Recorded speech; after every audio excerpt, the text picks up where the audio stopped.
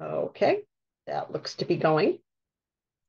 And so, like I said, this is going to be more of an FAQ session. And so we just have a general just PowerPoint here. I don't even think it's worth sharing with you guys and posting it to our training page because it's been more or less for Mary and I to kind of see where we left off, you know, when we're going through this, um, these FAQs with you. Um, but if you feel like this is something that you'd like us to post out there, we certainly can, but there's just no, not a whole lot of information on the PowerPoints. Um, and so, like I said, it is more of just um, an FAQ style format. And so we're going to answer the question by going in and showing you some of these things. Now, I know that we have covered, um, you know, the setting up type of things, um, you know, the resources that are out there to assist you with getting started and how to set up a district. But we've, again, made changes um, and we keep updating some of these uh, documents like the conversion guideline, the extracting data, you know, just stuff like that. So I wanted to review those with you again. Um, so, and talk about the changes that have been made to those since the last time that we have met. Let me get started on that. Okay. And so when it comes to setting up um, a district in ESS, um, we do have some resources out there for you. So we do have the installation guide and that installation guide that we have out there, and I'll take you to that here. Let me go to our homepage. And I've got that somewhere here. There we go. Um, so on our employee self-service documentation. So when you go when you go to the home page, again, for those of you that really haven't gotten in here yet to even see where all of this is at, under the employee self-service documentation, uh, we do have three different links. So um, our public links, uh, the self-service user manual, um, that's a public link. Uh, the installation guide, I believe is a public link. Um, and the self-service uh, import from kiosk, um, that one again is also to, that's I think just for ITCs, allowing you then to follow the steps that you need to do to take extracted kiosk data and import it into ESS. So within, so um, those are the three main areas. So for the installation guide that I was talking about in the PowerPoint, this is for uh, locally hosted um, ITCs mainly. It goes through the steps on how to set up everything. I believe those of you that host with the Management Council um, Chad um, has VRA options, um, and I, I believe he's, um, you know, giving you guys that information on how to set up your districts via VRA into a blank instance in ESS, and he goes through all the steps there. Um, but um, for those of you that do not host with the Management Council, the installation guide is going to take you through all of that information. Um, the ESS import from kiosk guide. So that's where you're going in and getting those kiosk extracts and then deciding which ones you want to import into that blank ESS instance. And so we'll get into that because we've added new options in there. We'll get into that here in a little bit. Um, and then obviously we have our user manual. And within the user manual, underneath our appendix, so if I go back and go into our user manual, and I just scroll down to our appendix,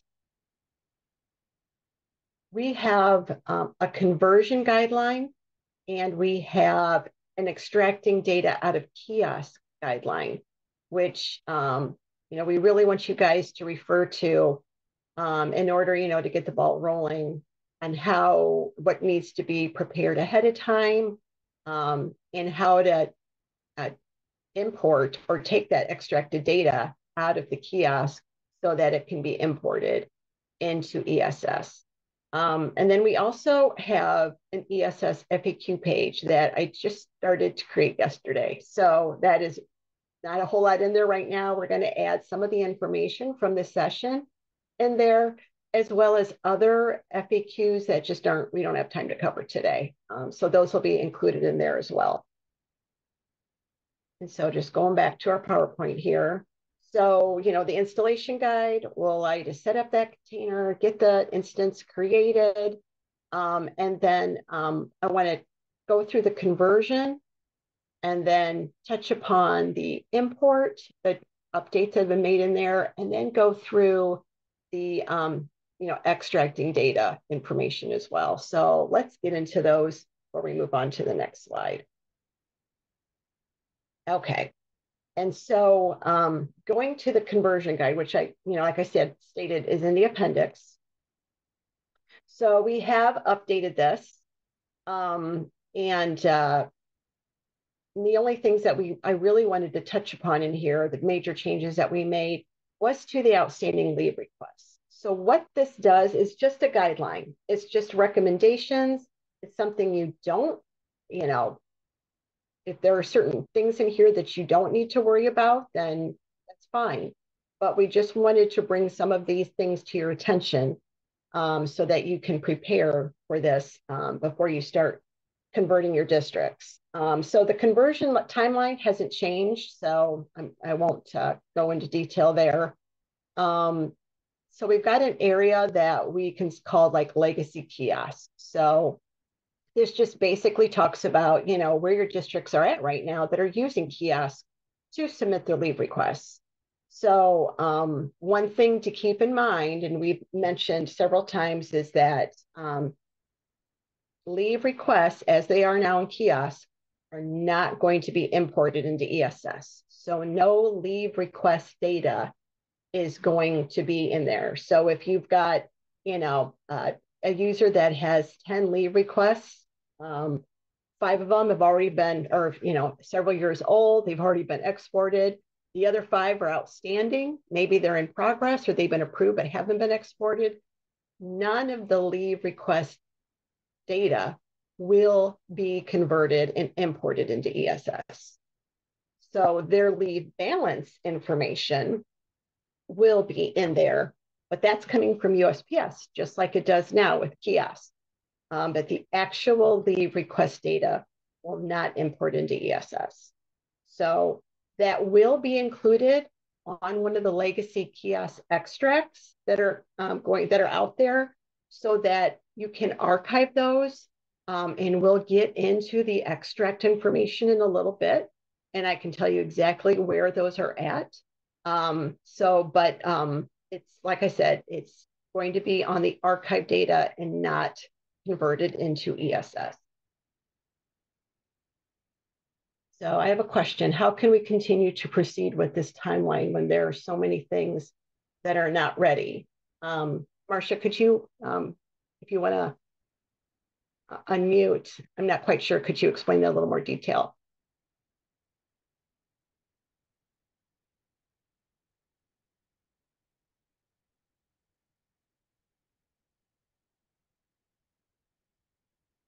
Marsha, I think we're having trouble hearing you. Let me see if I can unmute you. You have said multiple things that are things that are not ready. Um, I um, I said that you know we're still working with timesheets, um, and that isn't going to be ready until production. And we are working on the ASAP information, which there are some changes. So again, right, and these are things that are going to be ready, and they're supposed to be ready by production.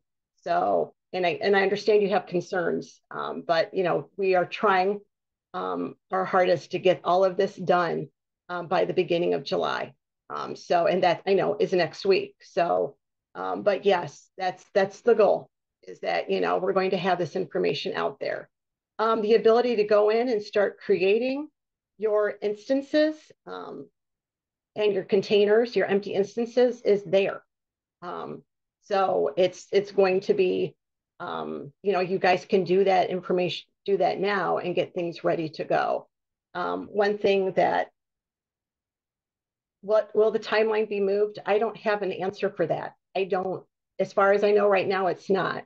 Um, it's not going, um, it's still at the end of September. So if, you know, there are situations that arise that it needs to be pushed back, then it will. But I can't comment on that right now. Right now, we're sticking with the same conversion timeline that we've had. So I hope that helps. Um, so anyways, moving on.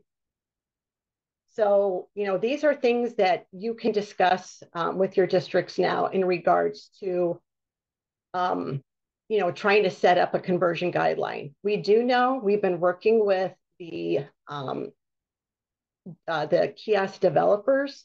Um, they're a group out of um, Peru. Um, their name InSum, and they have been working on the kiosk extracts, and um, they have them up and running now nightly. So, um, and it's specific files. So, um, I'll answer these questions here a little bit. So, with those files, what's nice is that because they are being created nightly, we have uh, no USPS extract file and we have a timesheet extract file that are being done nightly. That no USPS extract file is the file that you're going to need to take the data out of kiosk and import it into ESS.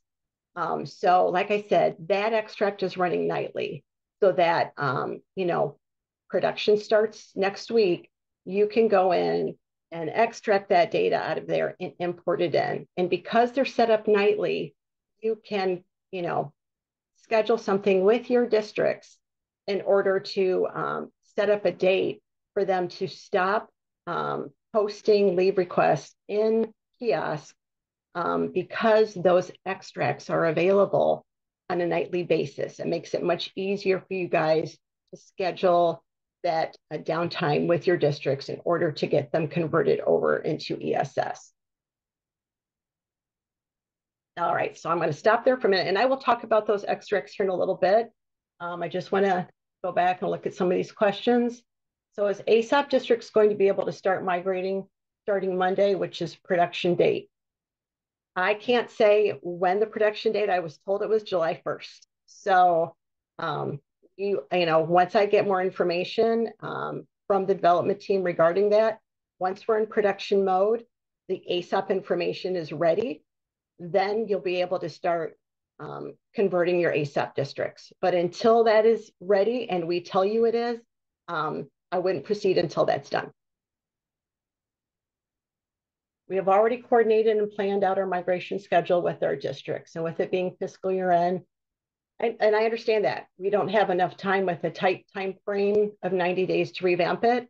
If those are concerns that you have, I would strongly recommend that you talk to your directors and you know and express your concern about the timeline.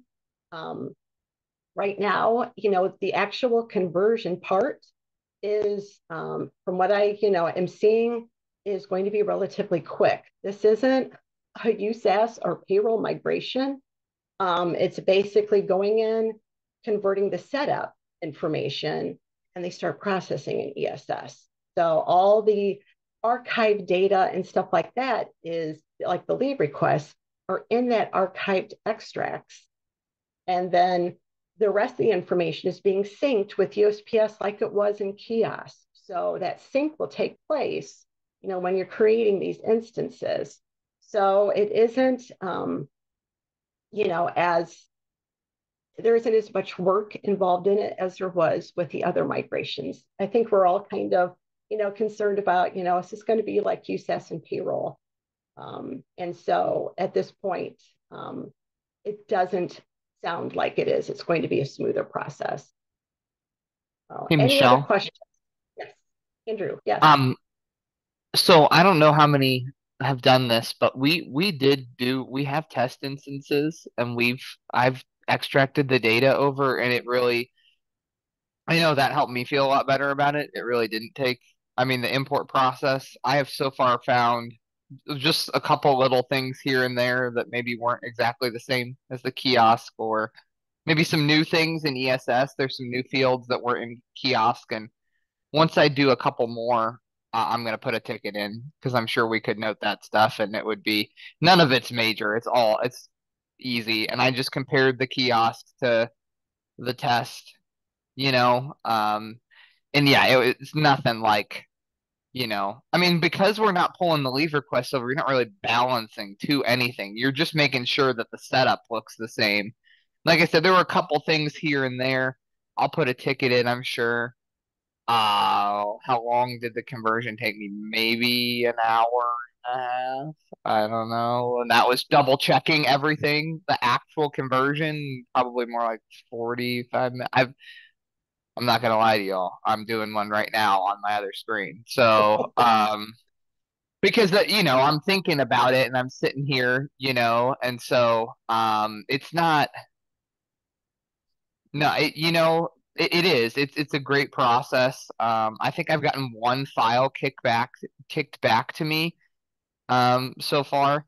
Um, and I that was something I would ask was going to ask in the FAQ. My users file had invalid characters in a password field. And I was like, I don't know why I need to import passwords either. It was like random users had passwords. So I just deleted those and, you know, then it imported, which I assume was okay.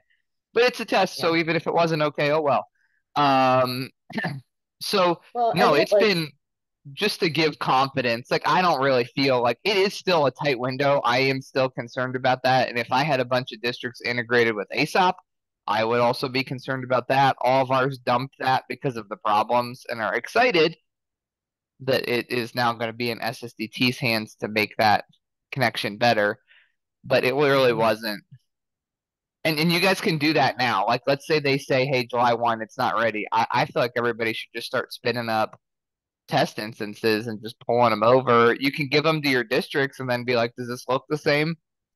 Or you can do it you know right and that's and that's what the whole early access was for and that's what we conveyed yeah, it's been going you know, well it's, it's, a test period um and yeah and i understand we can't really test out the districts on ASAP yet because we're still you know working on that um but yeah as long as you know you're in there getting familiar with the process like andrew said um and realizing you know the actual conversion part isn't taking that long um and with the kiosk loads that we have in ESS, they do produce errors.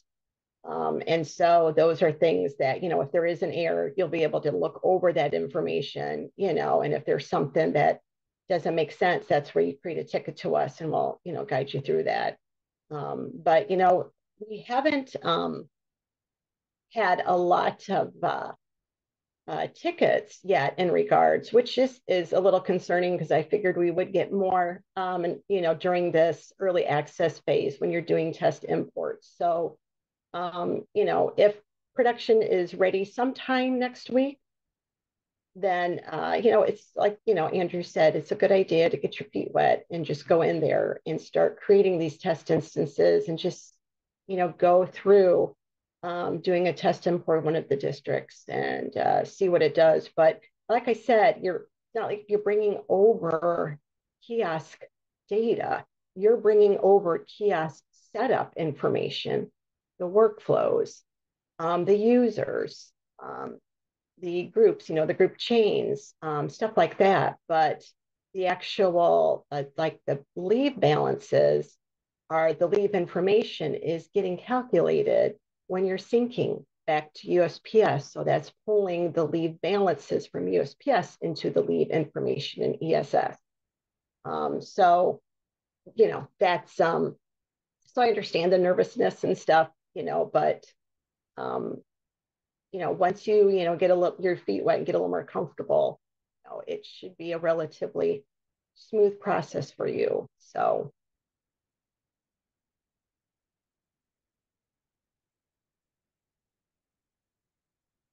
And um, so another question here is, we have sent multiple tickets. Um, with it being fiscal year end, it is a challenge, yep, to carve out the extra time to test, and, and uh, we understand that. Uh, we would also love to know the list of JIRA issues, bugs to be fixed. Um, you have access to JIRA, um, so you guys can access the ESS JIRA project and review that information that is out there and available for you guys to look at. Um, we have an ESS JIRA project. Let me go into JIRA. And if you guys have created dashboards, that's great. That's how I keep track of everything.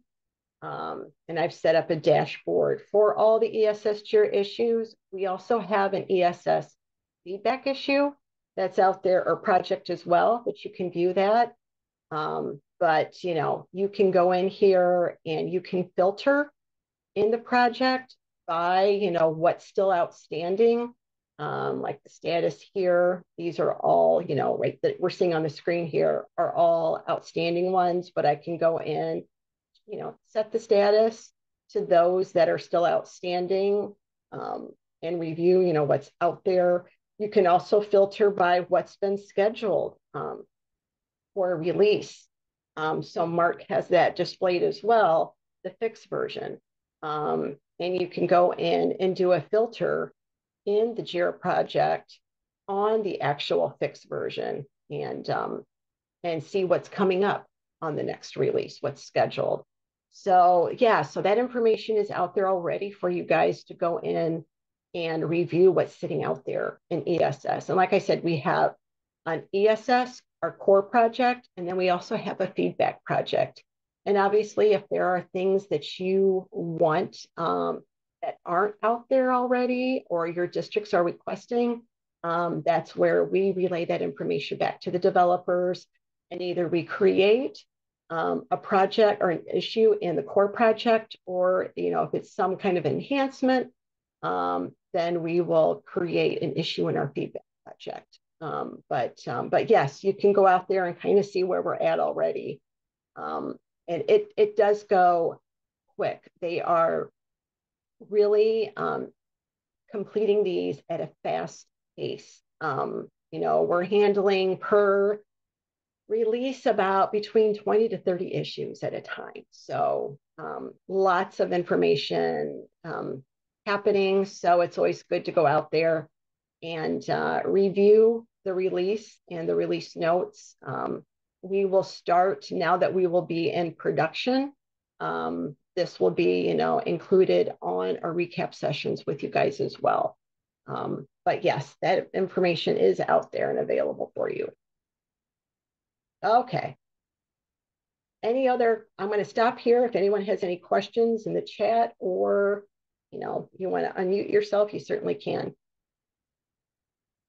Andrew, I appreciate um, you, um, you know, letting us know how things are going with your ITC and uh, anyone else that's been doing any type of test imports and want to share their experiences as well. I would appreciate it.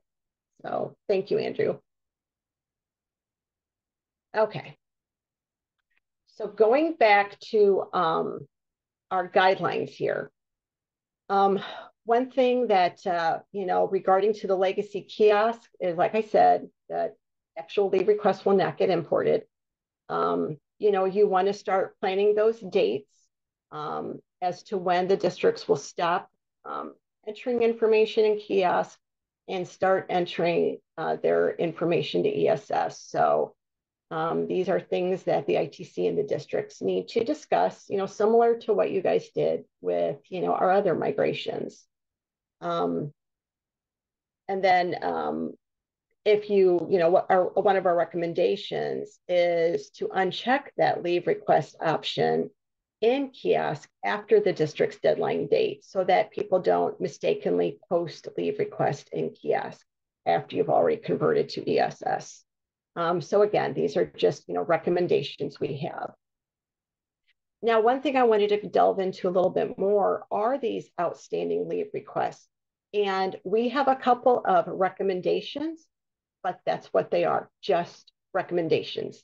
If you and your districts have found a better way to handle these outstanding leave requests that works for you, that's awesome. Um, but we just wanted, to, you know, to kind of go through a couple different options um, as to how you want to handle them. Um, so, you know, just to touch upon what an outstanding leave request is, it's one that hasn't been exported yet. So that could be an, a newly submitted one. Um, that could be one that's been partially approved in the workflow. We call that an in process. Um, and it could be one that's fully approved, but has not been exported into USPS. So those are your outstanding ones. So if, you know, what you're probably going to run into is that you're going to have outstanding leave requests after your deadline date. They you probably have districts that have already submitted leave requests for next year, um, for this fall, um, stuff like that. So you have to, you know, communicate with them and how you want to handle these outstanding leave requests because, as I said, they're not being imported. Um, and so you have two different options or whatever else you guys have worked out with your districts. But if you want to make it easy, um, those outstanding leave requests, you can have the users re-enter those in ESS. So if you have a user that has five leave requests that they submitted, you know, this fall, early next year, um, they can view those in kiosk right now underneath um, their their leave request to see what's sitting out there. And there is a way to download that information um, for them to download it into a spreadsheet to use that spreadsheet as a template. And then once you are on ESS, the districts on ESS, they can re-enter those leave requests and then it'll go through the workflow in ESS. So that's one way to handle it is just whatever, you know, every employee is responsible for seeing what they have and then going out there and re-entering them in the ESS once you're on that system. Um, has, you know, if anyone is, you know, would like to share what they have um, decided to do with their ITC or with their districts, please feel free to, to chime in. Um, but, you know, that's one way to do it. And what we have um, down here is how the users can get that information. Um, with their user access, they can go under leave request and there's a my request in process option and they can download any of their leave requests that are currently initiated or in progress into a spreadsheet and pull that in. Um, also, um, if there's another option in there, my processed requests. So these are ones that have been fully approved. It's going to contain ones that are fully approved and also exported. So they would have to filter on the status for approved only and then they can download those approved leave requests in the spreadsheet as well. So there's two different areas that they can do that. Do have uh, Marcia comment for leaves in the future. I told them to finish approving them and create the export file for the various periods. Uh, name the, hold on here, name the export file with a pay date. They would use it, save it and export it later so they don't have to re-enter.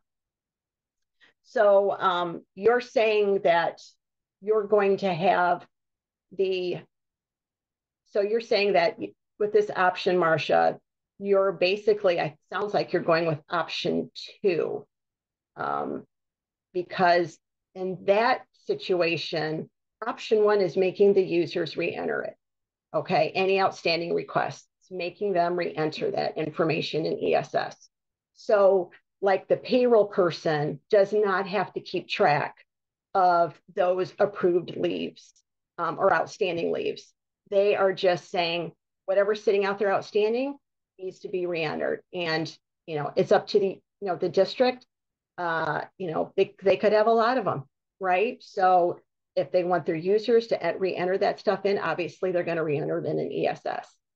Now, the other option here is if they don't want the users to re-enter their outstanding leave requests in ESS, they're going to go in and um, this is probably falls more on the payroll person at the district because what they can do is that you know those are out there they can make sure before september 30th that all of those um, are fully approved or before they're done, their district is done with kiosk and, you know, before they start on ESS, they make sure that all of those outstanding leave requests have been fully approved. So they're at the fully approved uh, status and we have that marked here.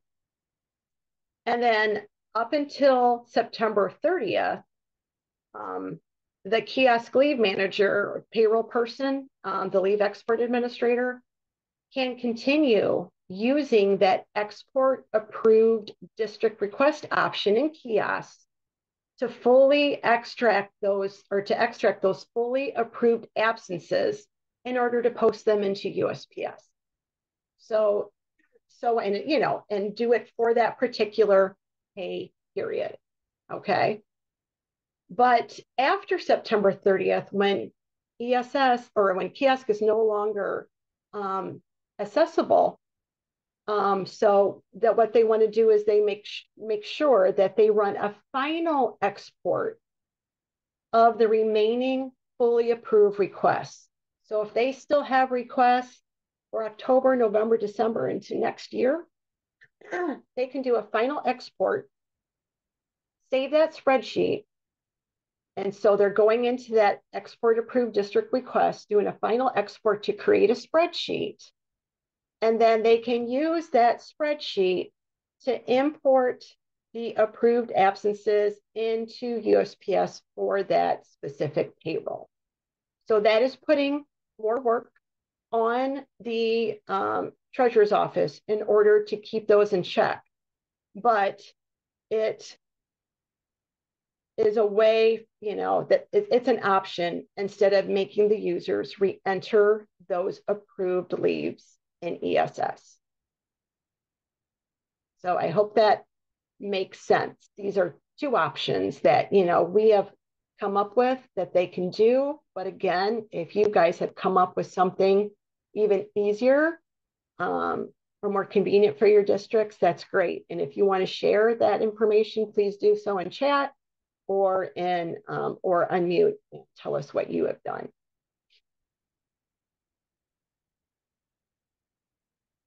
So that that's why we kind of took this outstanding leave request and made it its own little area because we just wanted to, you know, give you those those options that uh, we have come up with.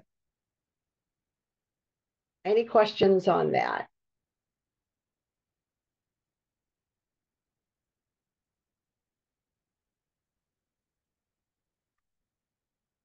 Okay. So if you have uh, workflows that are not being used in kiosk, that have never been used, um, you know, they can clean that information up prior to conversion.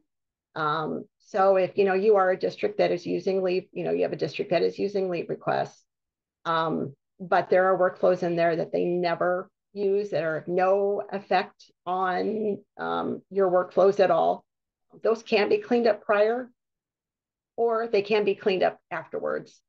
Um, that's one of the conversion options um, when you're converting the data um, using the kiosk extracts and it's going to pull in your groups and group chains. So, um, so if you know you have the time or you want to clean that stuff so it doesn't get imported in into ESS, um, you can ahead of time. If not, like I said, it can be done later when you have the time and you can clean those up in ESS. And one other thing as well is that we do strongly recommend um, that you guys, you know, talk to your districts about the archival process and how you guys are going to archive those legacy kiosk extracts. Um, the biggest concern that off the top of my head would be the leave requests. Um, is making sure that you know those leave that leave request data from kiosk is being archived in case you ever need to pull up uh, one of those leave requests.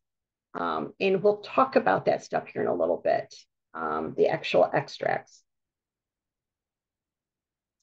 Um, those are the biggest things I wanted to talk about. The rest of this information is stuff that was has already been out there um, in regards to um, employee self-service and the steps here. We didn't make any changes really in here or the post-import steps. The main thing I wanted to cover since the last time we talked was the actual conversion um, of the outstanding leave requests um, and how to how to handle outstanding leave requests in kiosk. So that was the main thing I wanted to discuss in regards to the conversion steps.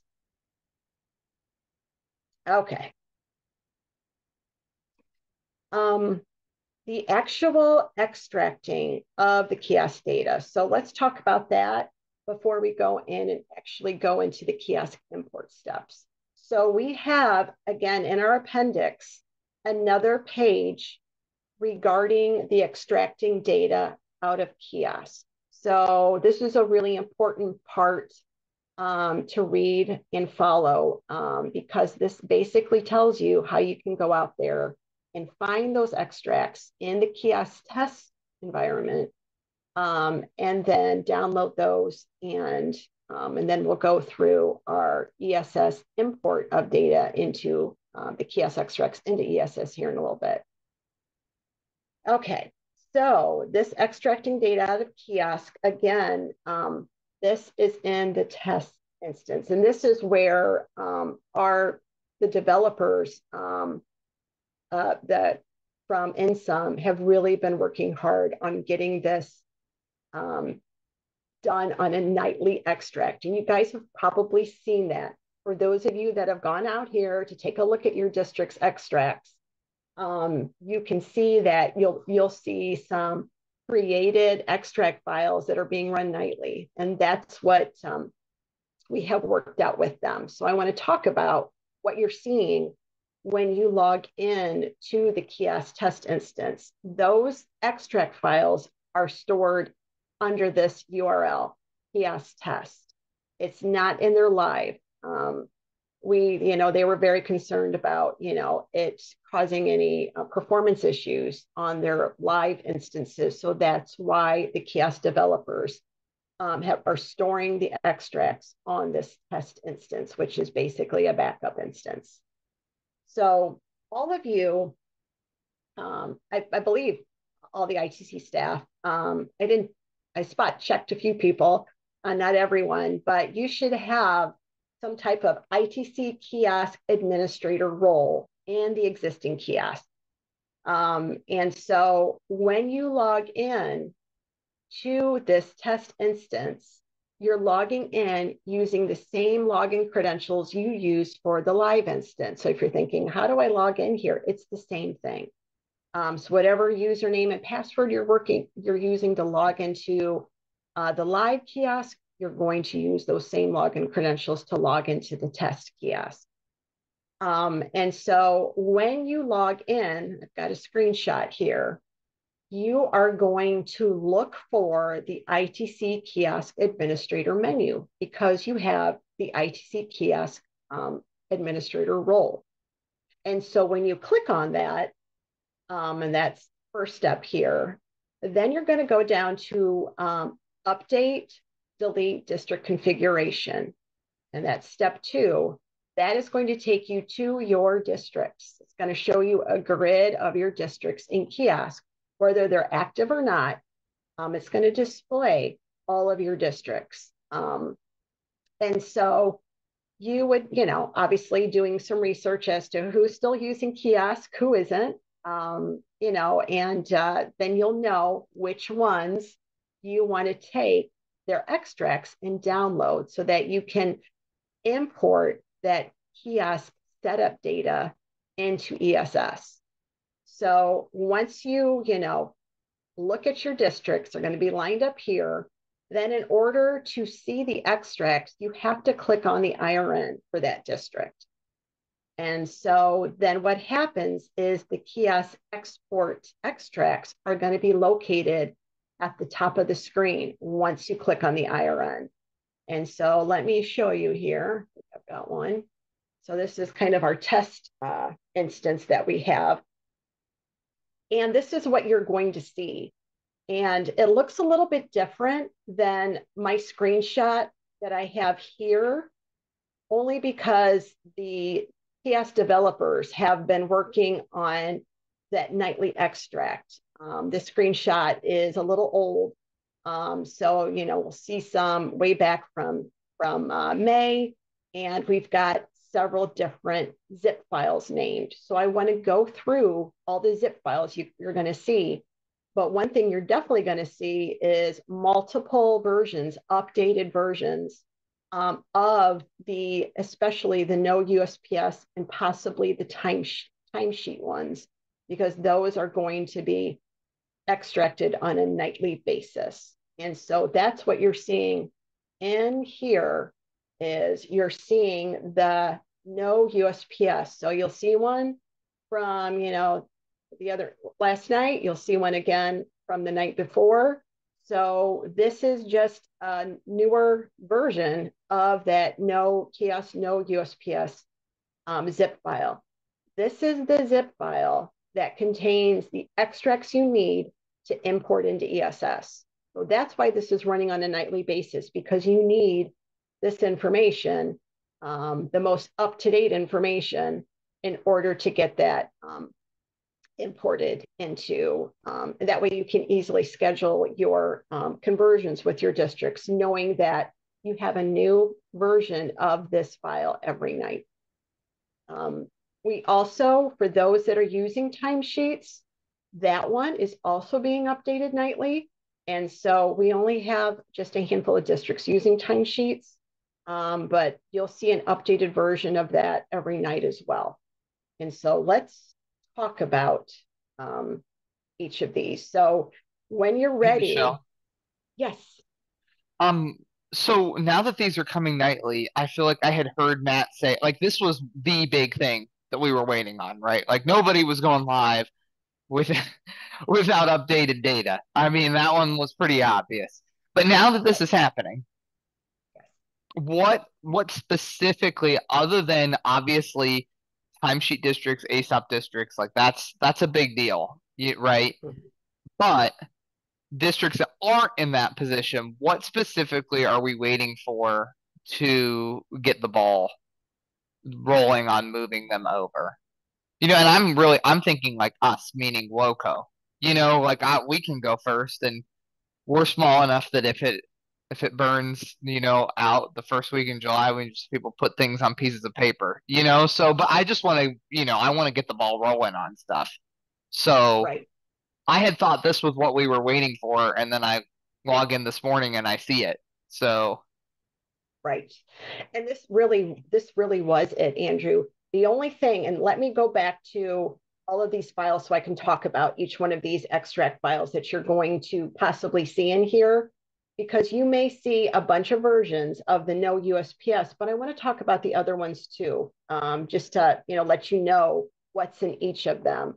We are still, um, you know, confirming a couple things with.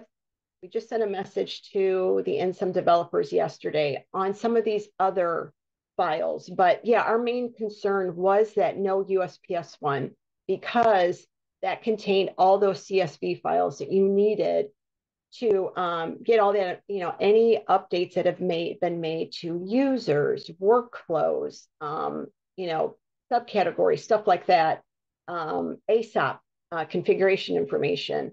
That was, um, we wanted to make sure that um, that was done on a nightly basis um, so that any changes that were made to any of the setup information is there for you guys. So you don't have to worry about missing anything, right? Um, and so, yeah, that's, I mean, once, you know, I, I guess I'm leery of saying, you know, wait until we announce production because we haven't announced it yet and hold off until production.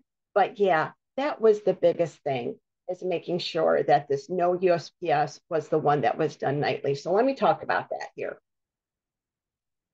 So, um, so what you're going to see, let me go back because I want to talk about the difference here.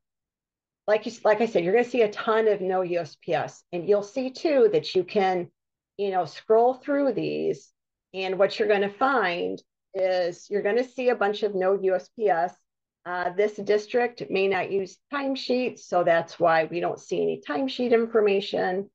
Um, but in here, you're also going to see um, Ippy Um, so if they are using Ippy um, then it does do an extract. Now, what are you going to do with an Ippy Dippy extract if they're still using Ippy Dippy, right? Because they're going to be using Ippy Dippy in Legacy Kiosk until at least next July.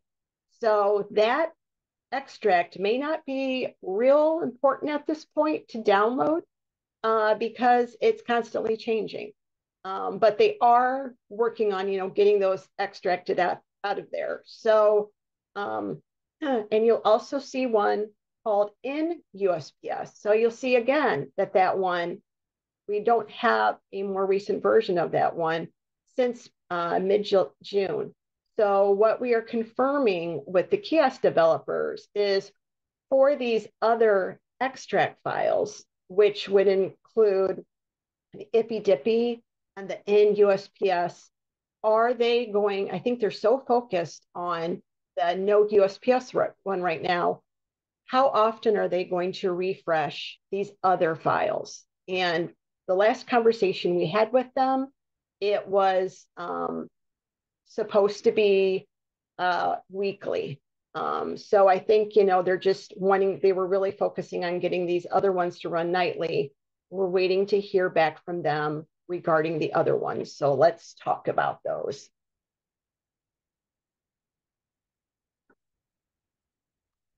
Okay. And so, like I said, the timesheet one is one that is going to be generated nightly. Um, and that's one of them that they're working on. And this is going to be the name, naming convention of that zip file. So each of these zipped files are going to contain several CSV files in them. So it's like a folder of all of the CSV files in here. And so this is going to contain the timesheet related data. Um, and like I said, I don't have um, more information about this because you know it's with the timesheets where we don't have everything out there you know and documented regards to this so once we get the information we need we will let you know um, but um, this is the ts stands for timesheets and it's going to contain any information from kiosk regarding timesheets into a zipped file. Um, you know what you can do is go out there and pull one of your districts and download one of these zip files and you know open unzip it and take a look and see the csv files that are out there just so you can see what all is out there and how large these are. Um, but these are things that um, you will need to kind of discuss with the it with your districts as to how you guys are going to store these zipped files for archival purposes um, and then the next one, which is the one we've you know been focusing on, is the no USPS. So this contains a lot of the CSV files. I don't have all of them highlighted that you could possibly import into ESS. I just have a handful of them here. Um, the ESS import from kiosk manual goes through all the different um, extract files that can be imported into ESS. So here are some of them that are listed in here. Now, like I said, the Ippy Dippy one contains any Ippy Dippy related. So, you know, it's kind of easy to kind of tell which one's timesheet, which one's IPI-DIPI. You guys know that the no USPS has got the extracts. So, you know, you can see kind of the pattern here um, of the archive data. And this zip file will only be generated, obviously, if the district is using or has used IPI-DIPI uh, in kiosk. Um, and so again, you got to think about this. Um, do I really need to extract this at this point and you know and archive this? Because if they're continuing to use IPI-DIPI, um, I shouldn't have to worry about this at this point. Um, as far as I know, you know, these extracts will continue to run. And this would be one that I'm assuming is going to be run on a nightly or on a weekly basis. Um, that, um, you know, it will be available to extract and archive when IPI-DIPI is done in kiosk or when the district is done with IPI-DIPI in kiosk. And then the fourth one here is um, a kiosk in USPS and so this contains other kiosk related data. I have not gone through these to see you know, like what is in each one. Um, this is kiosk data. I don't know how he's going about uh, naming these. I do know that um, these do contain the leave request ones, and you're going to see them noted under leave requests, but I have not gone in here to take a look at each of these to say, what's the difference between kiosk leave request, kiosk leave request, archived, kiosk leave request, and backup? I don't know what all of those are, um, but um, it does contain the leave request data. And so if for some reason, you know, a district needs that information um, to pull up something from a leave request from last year and they want to view that, they can, you notice these are all in a CSV file format. They can go in and uh, open up one of these in Excel and find information in here. I did go, I think I pulled up one of them. I can't remember, it's been a while ago. Um, and it was, you know, I searched on a name and boom, it took me right to that. Um, and if I wanted to filter then by a date, you know, if I know it was in the last year, I could do that. So it didn't take me long to find a, like the leave request I was looking for. Um, it's just kind of going through to figure out which one. Um, and I, you know, I haven't looked through these to specifically say. Um, it might be that some of these might be in progress versus approved versus exported. I don't know. Um, it might be split out by dates. Um, we might have ones for the current year and one and ones from prior year. I'm not sure. But anything with the leave request um, are things that, you know, you need to go back and look at something, you would be looking at those particular CSV files. So that's, uh, these are under the NUSPS one. Now the last two um, that could be created um, is a kiosk files and a kiosk ippy dippy files. And these zip files will only be created if there were attachments on the leave request or on the ippy Dippy form. So um, if they never used attachments um, in kiosk or ippy Dippy, then these files will not be generated.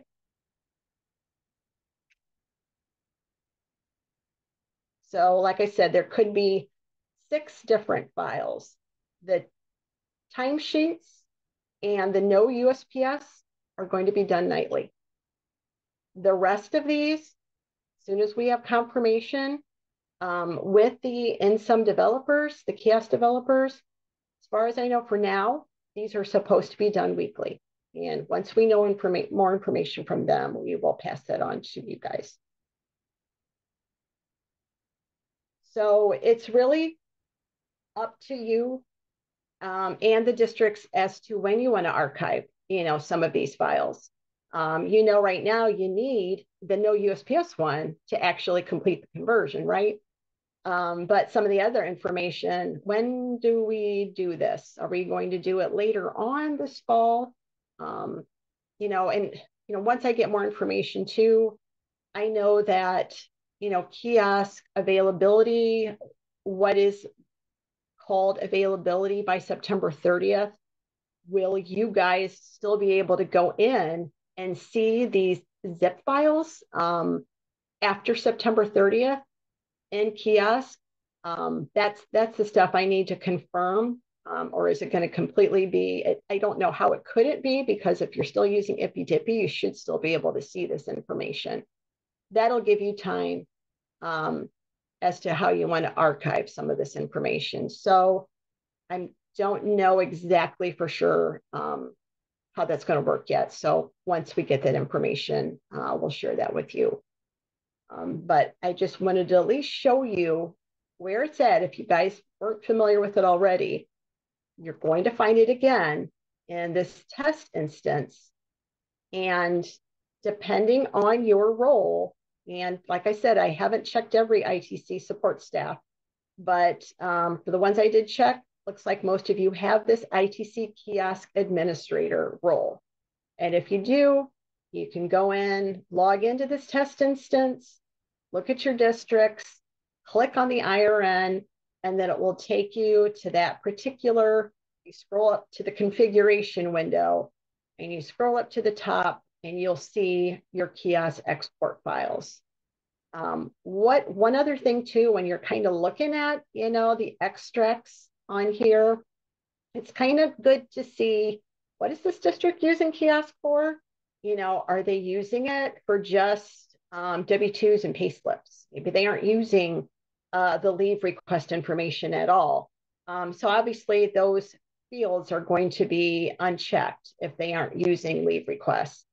Um, and so that could help too when you're ready to convert, because if they aren't using, they weren't using leave request and the workflows in kiosk to begin with, that data doesn't have to be imported then into ESS because why would you import workflows that they've never used, right? Maybe they started using them or something and they and then they're like check this uh, you know unchecked it because yeah we're using something else instead then you want to make you know sure if this is unchecked here then when um, the instance is set up and you're converting the configuration information which is the kiosk functionality if the leave request is unchecked in here it's going to say unchecked in ess when it converts over. Um, and so, with that being said, let me go into okay, I've downloaded these. So, you use this link to download the zip file. And then, obviously, you would open that zip file to get to those specific CSV files in the no USPS. And then, what you're going to do, go back, is you're going to go to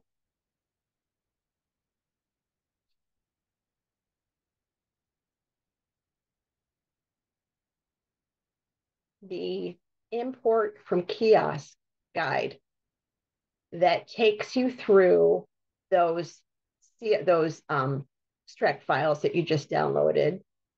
And you're going to go through this import process to import that setup configuration into ESS.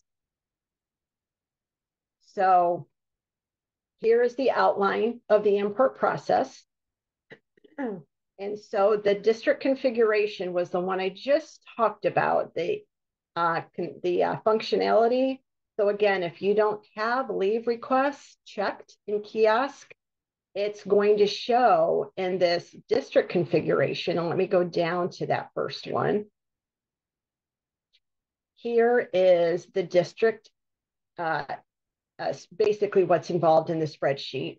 So for this one, you're going to find the whatever their IRN number underscore kiosk underscore districts dot CSV in that no USPS uh, extract folder. And you're going to take that and you're going to go into um, system kiosk load and ESS, and you're going to upload this file and select the kiosk districts. I'm just using this one as an example. And so, like I said, if you're going in here, it's going to pull all this information in. So if some of these um, aren't being used, like leave requests, then it's going, the flag's going to be false. And when that then gets converted um, and imported into ESS, when you look at the ESS functionality uh, option, it's going to stay unchecked in ESS. So it's not like you have to go in and redo this all over again. So, um, so here, you know, is just kind of an example of what's on that spreadsheet. So yeah, go in and take a look at the spreadsheet um, from the extract and see what's in there. Um, that's the only way I'm, I'm really kind of learning, you know, okay, I'm going to just view the spreadsheet. This is the stuff then that's going to get imported into ESS. And then these flags, the setup is going to show up underneath my ESS functionality menu option um, in the ESS system. So what uh, we've done here is we've kind of highlighted in blue the name of the file from the extract that you're going to import in. Uh, one thing we have mentioned up here is that if you know your districts do not use leave requests and kiosk, they can skip some of these steps they aren't using leave requests, there's no reason uh, and no need to import groups, group members, subcategories, the workflow, and the workflow levels. Um, so these steps, six through 10, can be skipped if they are only using kiosk for pay slips and W-2s. And so these are all the different options, and we do want you to do them in this particular order. Like I said, you can skip these if they aren't using leave requests, but we want you to do it in this order. And and yes, so it's just kind of showing you in here. Here's my next one, the leave configuration types. How do I want to, um, I want to import that stuff in. And then you'll notice too, and you know, we keep updating this if we encounter any type of errors that you've received. Um, if you guys have created a ticket saying, I'm getting an error when I'm doing users, then um, we need to make sure that we enter that information in, um, kind of like we did with the errors that we did with inventory and USAS and payroll um, when you were doing the uh, migrations. Um, but we'll make sure that we put those type of errors and include them in here sometimes it's really a bug, you know, that we need to hot fix so that error doesn't happen. Um, and so obviously um, we're not going to include that since we're going to hot fix it and you shouldn't encounter that type of error. But, you know, as you're going down in here, you'll um, see, you know, I think some of these, scroll down a little bit. Yeah, you've got some possible errors that you could encounter. So this is for the leave request uh, approval workflow information. So, so this deals with the group chains. Um, and so you could encounter some possible errors in there. So um, we are listing. Can we talk about this one? Can we talk about this one, that box, sure. what that box means? I think sure. I know what that box means, but the yellow right above it, if the building IRN is used for workflows, you will want to verify each building code included in the workflow is correct. So those building IRNs and USPS is not unique and could reference more than one building code. When multiple codes are found for the same building IRN, all codes are included in the workflow. So that's where you, you might come into the situation, Andrew, where you have multiple buildings that you know have the same uh, IRN included in them. I'm just thinking, you know, um, when you're looking at those codes, um, building codes in USPS, I think that was one of the things that we recommended in um, part of our conversion guideline is to make sure that information is entered in. Um, okay, I think I have a district where it's not tied so the way I understood this was if you tied multiple building codes to the same IRN, that could cause problems. I think I'm having a problem because I think this district doesn't do, have any building codes set. Uh, okay. Like two IRNs, right? Like in the old kiosk. So I'm looking in their import file right now and I see all the building IRNs listed. And that's on the mm-hmm. position screen in USPS. So like those things are identified with an employee, but the building codes don't in core are not linked to those IRNs. Could that be what's causing my problem? But those yes. building codes are not referenced on the on the import spreadsheet, just the building IRN column. So how does it know And I know that this is the issue because the records that got rejected are the ones that have the building IRNs on them, and the records imported are the ones that have the department codes listed on them. You know what I mean? Like, so I know that that's what's happening, right? Okay. So, it, okay, it, let me go. Oh, go ahead. I just, it's an interesting, it's like, why? Where do the building codes play into this? Because the building codes aren't on the import spreadsheet. The building IRNs are on the import spreadsheet. Let me look here a sec. So the build so in USPS, want to ver verify the following prior to importing. In core codes, you will need to ensure building code types. Building IRN contains a valid IRN for each building. So that's not an issue, Andrew. Those are okay. I mean, they, they all contain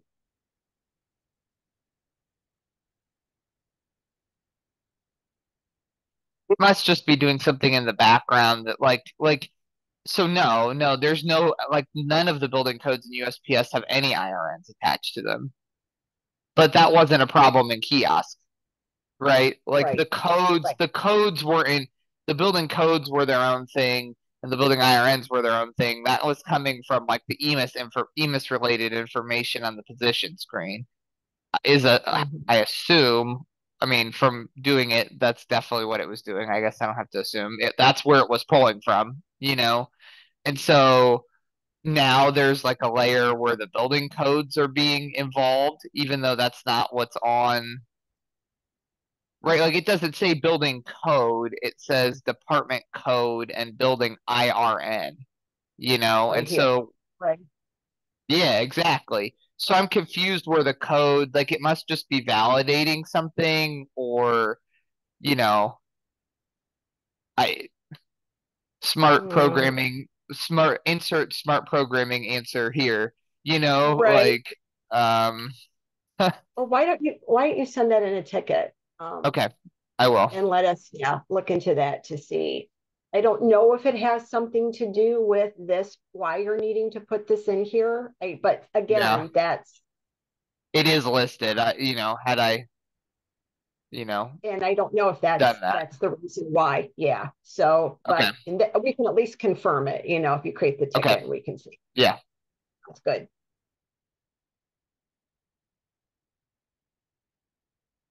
Okay. And so, yeah, so for a lot of these here,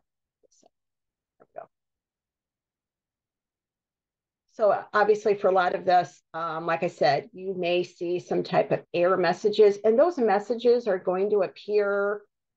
Let me give an example here. Um, here's an example of importing the users. Um, and those messages, those error messages will appear here. Plus it'll create a file too of the error messages. Um, and the way that this behaves then is, you know, if it's obviously something where you're like, oh, you know, um, this is something that um, we need to fix um, in kiosk in order to correct the error, then that's fine. But um, what I would recommend instead is um, if you do encounter some type of error that you know you need to correct um, in order for it to import correctly, you can take this CSV file that is generated, whatever the name of it is, um, and then you can um, open that in Excel, make the changes in there, and then you're going to upload the newly changed CSV file in here in order to fix those error messages. Um, our concern is if you import and let's say, you know, nothing loaded in, then it's probably safe to say you can make the corrections in kiosk and, you know, and, do that extract and, and get that information. But my concern is if you go in and you realize that there are changes and half of the information imported in and the other half didn't, you go make a change in kiosk you the extract file is created and then you import the newly updated extract file you're going to not only you're going to do you're going to have duplicates it's going to uh, repost those ones that did successfully update um, in addition to the ones that you know that uh, you fix the errors on so you know you want to make sure if you do have errors you're not sure what the errors are it doesn't indicate anything in here in the manual please create a ticket um, but if it's something that you feel like, okay, I think I know what's going on, you want to make the change on the CSV file that was generated from this import. Make the change, then go back in and upload that file to fix those errors. The CSV file is only going to contain the um, items that didn't import. So the ones that you got the errors on. So in here too, another reason why we want you guys to go through the steps um, in the proper order is because we do have a syncing positions and a syncing of the leave balances in the middle of here. Um, and if I go back up to the top, you know, you'll see that those are steps four and five. So basically, once you to do steps one through three, go in and sync your positions and the leave balance information from USPS um, and then continue on with the rest of the steps. So again, make sure that you do this in the right order.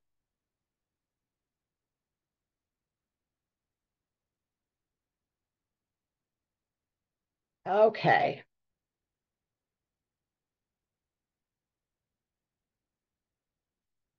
So just kind of circling back to the PowerPoint here, I think I covered everything, you know, in regards to the setup. You know, you got, you know, actually installing, which, you know, from what I'm hearing um, on this call and what we've experienced with tickets, that you guys are running test, you know, imports, you guys are setting up blank instances, you're getting things ready to go. And so, you know, that's where, you know, the installation guide is helpful for that. And then in the user manual is to, you know, look at the conversion guidelines because it does provide some helpful tips and stuff that should be done ahead of time, as well as what's done during the process. And then, um, you know, the extracting data is telling you what you need to do to kiosk to get those files out of there. And then the import from kiosk guide then we'll explain how you go in and import those setup, that setup data from kiosk into ESS. And, you know, like, you know, and like Andrew had commented before too, once that information's in there, you know, and you're syncing uh, leave information and you're syncing position information, you know, you're kind of just looking at that stuff because it's that's coming from USPS. So you can't go and take a leave balance that you see in um, uh, you know, in in uh, ESS and compare that to all of their outstanding or all their leave requests in uh, kiosk. It's not going to balance. Um, so you know, you just want to kind of just spot check to make sure that what you're seeing in ESS, like their leave balances, are the leave balances they have in USPS. Those should balance because it's syncing it. Um, so just stuff like that. When it comes to you know leave requests, they're not coming over, so you really can't be doing any balancing there um, you know, making sure that the users are out there and they have the right roles. Um, those roles should be coming over when you um, import the users. Um, the only role that will not probably come over is for you guys. Um, you have that um, ITC kiosk administrator role. And so when it, and we'll talk about that when we get into users, but you'll probably have to have a different method of uh, getting your accounts into your districts. And I, we will touch upon that when we talk about users here. Don't get into that now. Okay. Any questions in regards to just the setup information?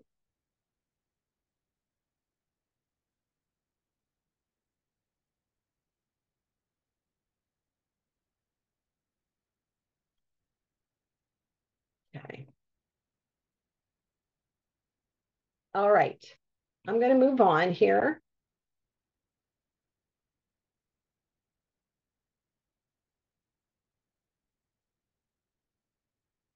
All right, so this next part is, um, you know, like I said, we are, and like I said earlier, that we are working on the Aesop integration and how this will be handled. And um, I don't have all the information, you know, and I'm being honest with you guys. I don't know like when exactly this is going to go out. They are working on it. I know I spoke to development team yesterday, and there are two integral pieces that they're still working on with the Aesop integration that won't that aren't available right now in the current release of um, ESS. So um, that you know they are working literally day and night to get this done so that all the Aesop pieces that need to be there uh, when we go live in production will be there.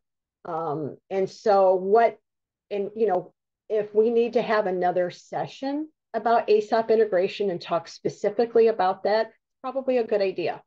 Um, and you know, we can include maybe some of the development team on that and just talk about the integration so that you guys feel more comfortable about it.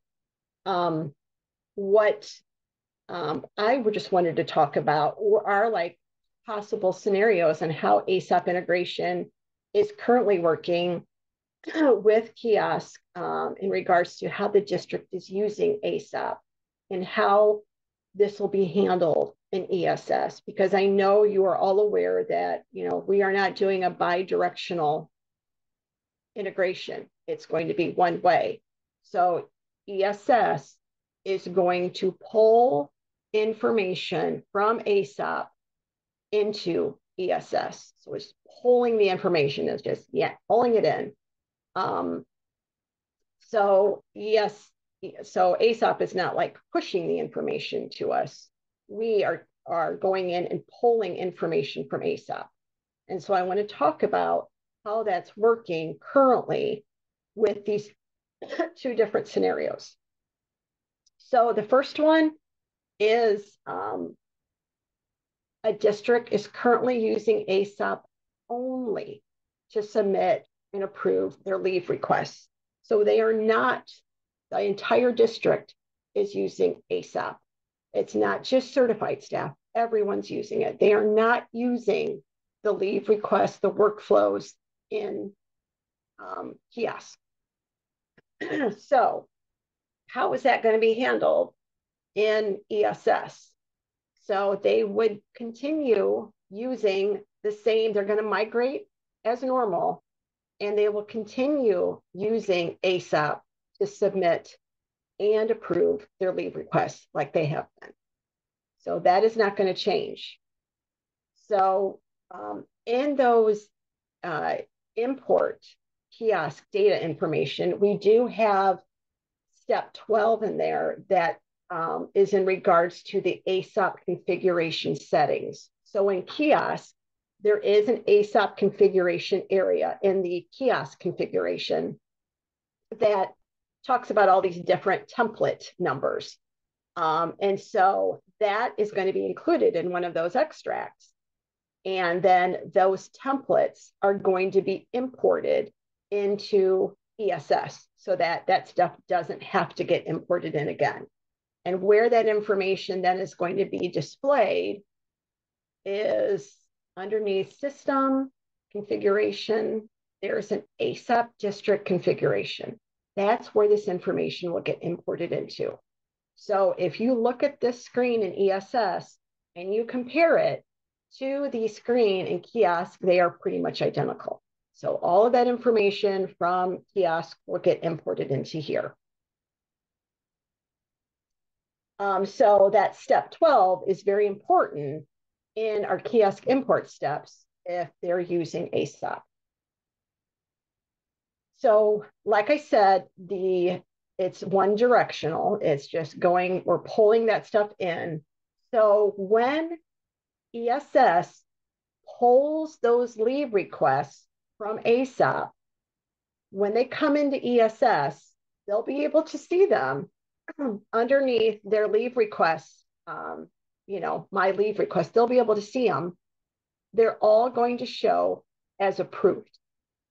I want to point that out because there is nothing that indicates in the workflow status of where that leave request is in Aesop. We don't have that information. When we pull it, it doesn't tell us if it's initiated, if it's, you know, in a, you know, in process, it's been partially approved, it's been fully approved.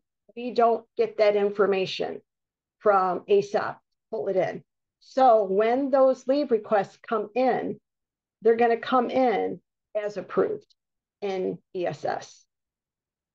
So that leave request may still show as initiated in Aesop, but when it gets pulled in, it's going to be pulled in because we don't have that information as approved.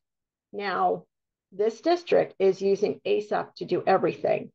So they're going, so, and that's what they should continue doing. So they're going in, treating their leaves, they're approving their leaves in there. They're, I'm assuming, extracting the data out of e, uh, Aesop to import into USPS. They should continue doing that they can you they can go into um, ESS and view their leave requests, but there will be no workflow for them, obviously. It's already an approved status. They did the workflow in Aesop and they can look up their leave requests in here if they want to. So they still have a way to see that. but they can't go in and make changes because it's one direction. We will never, we're not going to push any updates in ESS to Aesop. We are pulling from Aesop, but we're never going to push information back into Aesop. I hope that makes sense. When that information gets pulled in um, to ESS, I believe it will have, um, it'll be designated with an external ID and an origin of absence management to indicate that these leave requests came from Aesop. Um, and I don't have a screenshot or any of that. Um, I don't have anything in here, but I'm assuming when, you know, they're looking at their leave request, it'll have some kind of, of designation in the leave request to show that. As to when we do the polls, I believe it's on an hourly increment. So um, if that changes, uh, we'll let you know. But um, from what I um, confirmed yesterday, um, those polls that we're doing Aesop are done every hour. So yeah, so I know that those leave requests are in here and they're showing as approved. Um, but you know, does the district really want to go into ESS then and export them out and then post them into USPS? If they do that, you have to remember you don't push data back to Aesop. So if they go in here, you know, they're, they're getting pulled in, they can see them, and then the payroll person comes in here and exports them out. The leave request changes from approved to exported, right? But in Aesop, it's not going to update that if they're posting it to USPS via ESS. If they export the information out of Aesop and post it into USPS, it's going to change the status in Aesop to uh, exported or whatever their status is in there. When we pull every hour, it will go out there and, and find those leave requests and update the status in ESS from approved to exported to show that you know they have been exported and um, assumed post posted to USPS. Does that make sense? Does anybody have any questions on that?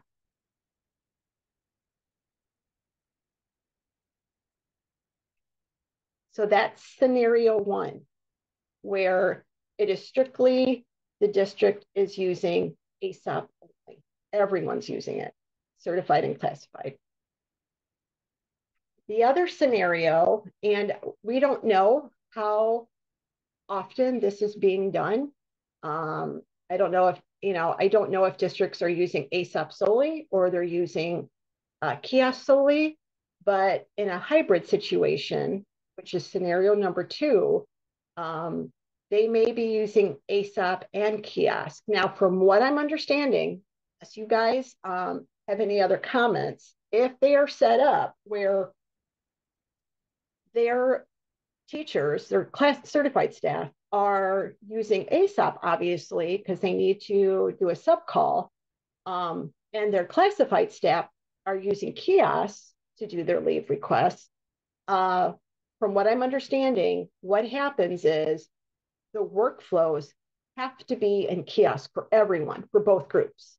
So even though they do the sub call in Aesop, then what happens currently is that it's going in then and the once it's um, the leave request is initiated the workflow is happening through kiosk if they're using both they're required to do the workflows in kiosk only so unless you guys say something different that's the behavior that uh, we are seeing so you got to think about that because right now they have districts or, or staff teachers that are submitting their leave requests in Aesop, and they have classified staff that may be submitting their their leave requests in kiosk. All the workflows for both groups are being done in kiosk, um, because kiosk then is pushing information back into Aesop because it's bi-directional. Well, we aren't doing that. So it's going to be one direction. So the biggest change with these districts that are using this type of method in scenario two is that those certified staff, those workflows have to be done and created Aesop. They cannot have them in uh, ESS. So the workflows for their teachers, for their certified staff, the workflows for the ones that need subs need to be created in Aesop. So those uh, users will submit their workflow like they normally do, or submit their leave request like they normally do, but the workflow will go through Aesop. And then it'll be um, exported out um, into, you know, into Aesop um, to be posted into USPS. So um, I, I think I just want feedback from you guys as to if you have districts using both Aesop and kiosk and, you know, and your thoughts on this particular one, just to know that, you know, right now, you know, if they don't have those workflows created in Aesop, they are going to need to create those. Is that going to be, in, in you know, what, what are your thoughts on that?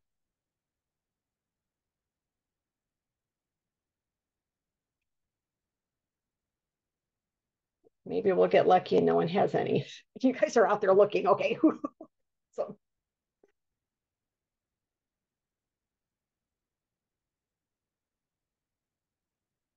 So I'm talking about, um, I'm talking about scenario two. Uh, scenario one, everything's done in Aesop. So um, they, the workflows are already set up in Aesop, right? For scenario number one. Scenario number two is where we have users that are using it in both kiosk and Aesop. So those that need, right now, those workflows only exist in kiosk. So for those that need a sub, they have to create workflows in Aesop because we aren't doing a bi-directional. Awesome.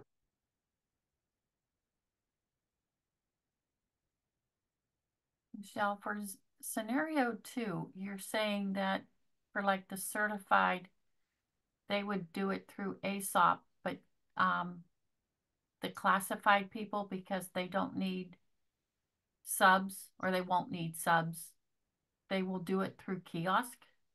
They will do it through through ESS, correct? Yeah, okay, I'm sorry, I'm looking at kiosk here. Yeah, I'm just talking about like what they're currently using and yeah, and how it will be handled in ESS. But you're correct, Brenda. Yes. Classified or those that don't need a sub. I don't want to say just classified, but those that don't need a sub, you know, can continue using, you know, ESS. But those that do need a sub, their workflows need to be created in Aesop. We only have one district, so I need to check with them to see how they're doing it.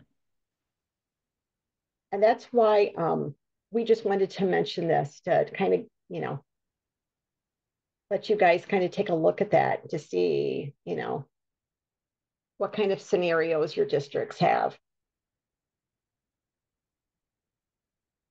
It looks like some of you say that everything's set up in Aesop. It's great.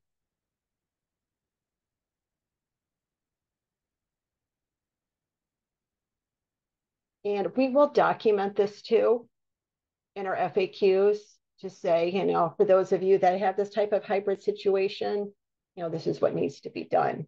Basically, those, you know, staff that need a sub will need to continue, you know, they have been submitting their leave request in Aesop. Now the workflow has to go through Aesop before it was going through kiosk.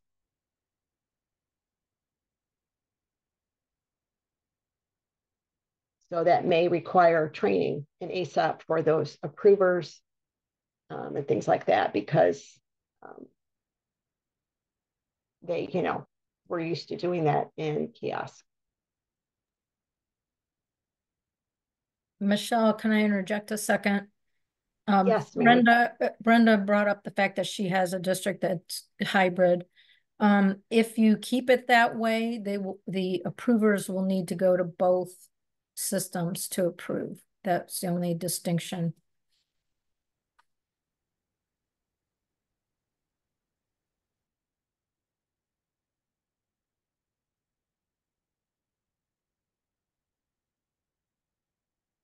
And like I said, we will document all of this too and lay it out so you guys kind of know um, how this is going to be handled with ESS. We just kind of wanted to bring it to your attention at this point, just to, you know, kind of have you start looking at your districts to see exactly um, how their, you know, leave, you know, workflows are being set up and how they're using Aesop versus kiosk.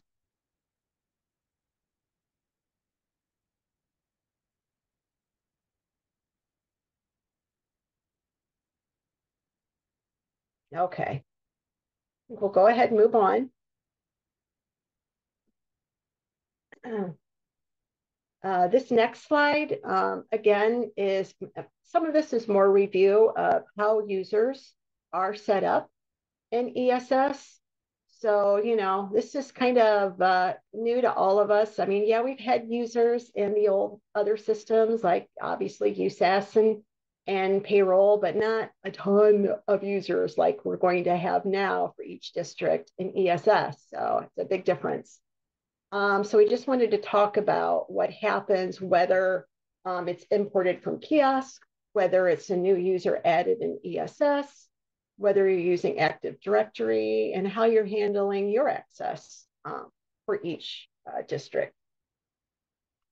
So um, when you're importing from kiosk, again, there's going to be a user extract. So again, it's coming from that no USPS file, uh, kiosk extract file. And there's a specific CSV file in there for the kiosk users. And you're basically going to download that file and you're going to import it into the kiosk load. Um, so when you do that, I think, and I don't know for most of you, but um, just experience that I've had, usually their username is their email address. And so, and that's fine. You don't want to be going into that spreadsheet before you import it into ESS and making changes to it because you could uh, corrupt it and then it won't load properly. Um, so, um, and so if you go in and import them and all the usernames, you know, are their email address, that's that's okay um, you know, they can continue using those, or um, you can go in and uh, mass update their usernames um, in uh, in ESS. We have a user on the user grid in there. We have an extract that allow you just go in there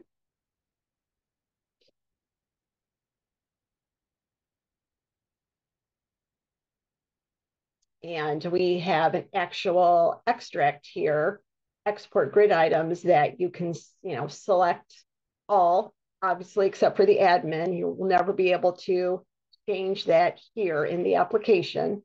Um, but um, it'll pull everything into a spreadsheet then that you can mass update their usernames and load those no, new usernames in here. Um, so, you know, if you want to get away from the email as the uh, username, um, and maybe they're using Active Directory. Um, obviously, if they're using Active Directory, you know, probably already set, you don't have to worry about it. But if they're planning on using Active Directory with ESS, you want to make the username their Active Directory username, um, and then you can load those in. Um, another thing too, when you're importing users, it's not taking the password. So it's just going to be taking their user information, first name, last name, um, their role will be in here, their email that was in kiosk. And so that type of information will get converted in, will get pulled in. But obviously, when it comes to the password, those need to be uh, reset. And we do have a bulk reset password that'll allow you to do that to reset them. So I believe for the user then, when they uh, log in or when they um, go to the actual login page to log in, there's going to be a place where they can change their password and they can reset it then to what they want to use in ESS. Um, but you know, this will you know allow you to reset the password so that they can at least go in and reset it to something that makes sense to them. Um, and when it comes to resetting these and stuff, right now, when it comes to, I think, resetting, uh, making editing changes, both the admin and district manager can do that. When it, when it comes to creating new accounts, I believe it's just users with the admin that can create new accounts in ESS. Um, I don't know if we've got, um, I think we might have a Jira issue maybe um, to maybe update that, but I believe that's how it's currently working right now.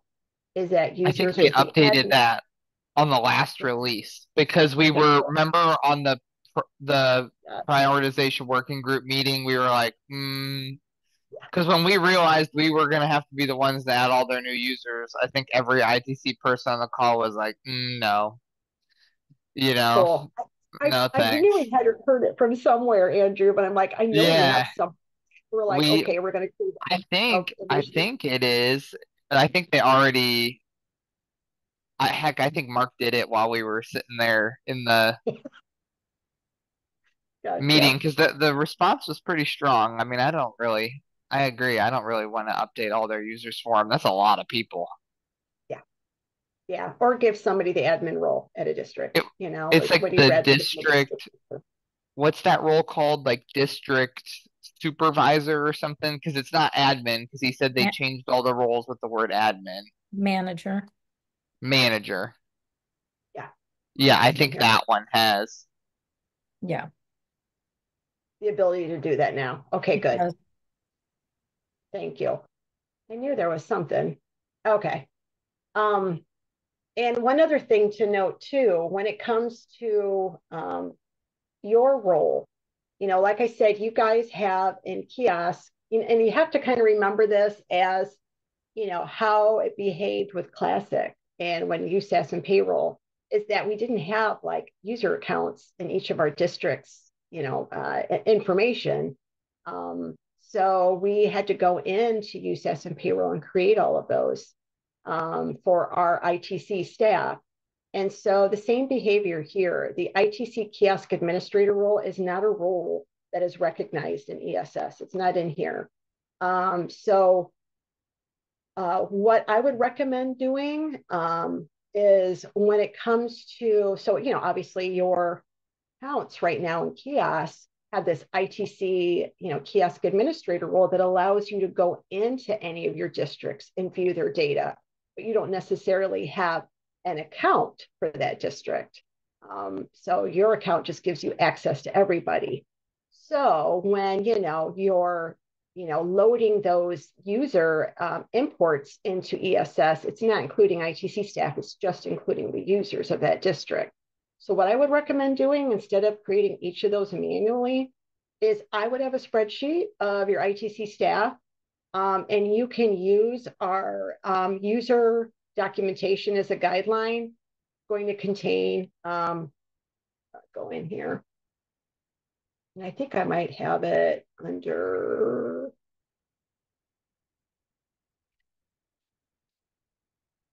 maybe I don't have it in here. I might have it underneath the user import. So let me go down to system.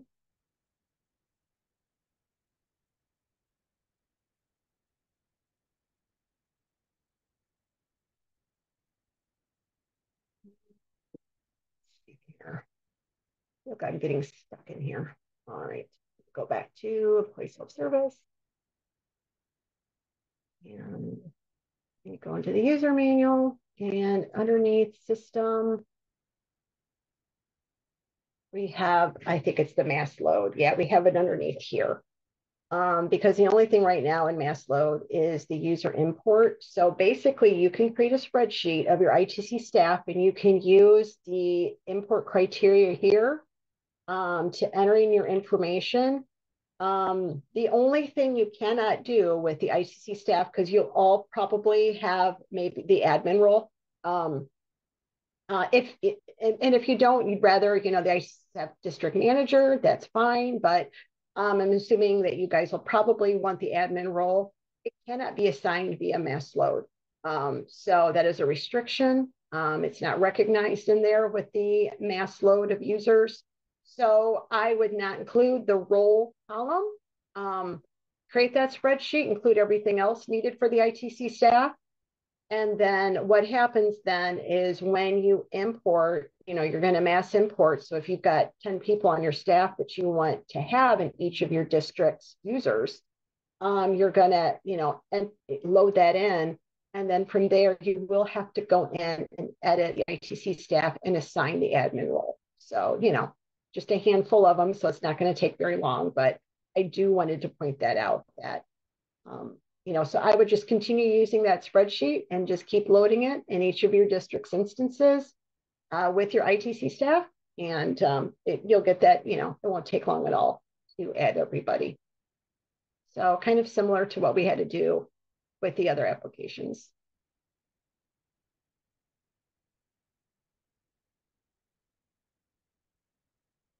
Okay. And I think I covered all of that. Like the AD setup, like I said, the username has to be the same as the username um, that is used in Active Directory. And with that user account as well, you want to make sure that um, the external uh, authentication is checked for AD access, or if you're using Duo, the two-factor authentication. Um, so I make sure that that's um, set up. And also um, their, um, the application properties, making sure in that file that the Active Directory information is set up there as well, and testing it, testing the Active Directory access to make sure that that's working. if you guys still are having trouble with AD access and being able to log in using the AD uh, username and password, then create a ticket to us and we'll look into it. I know we had some issues and some bugs um, with um, AD, um, and I believe that we've worked those out. But again, we might, you know, come across some other ones. So, um, but yeah, you definitely want to make sure that the uh, username is identical to their AD username and they have external authentication check marked in here. Okay. All right, so I think um, I'm going to stop and Mary's going to take over and uh, she's going to talk about some of the uh, application processing and kind of going over a review some of that information. Mary, I'll stop sharing my screen here.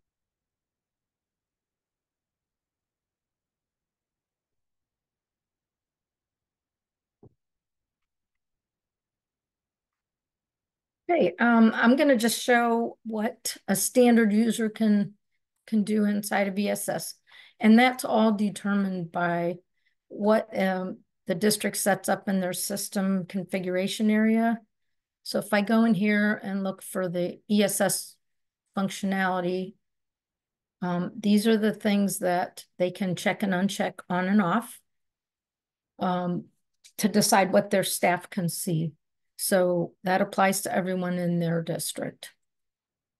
So this is a um, admin account that I'm using here. Um, I'm going to go ahead and log in as a as a user.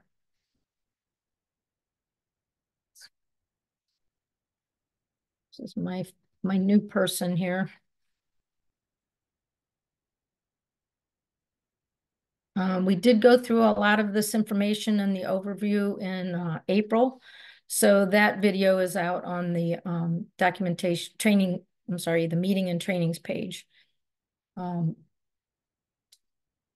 we will probably create a new video for just the user profile when the production releases out so that we can include all the newest enhancements and probably post it in one of the future newsletters.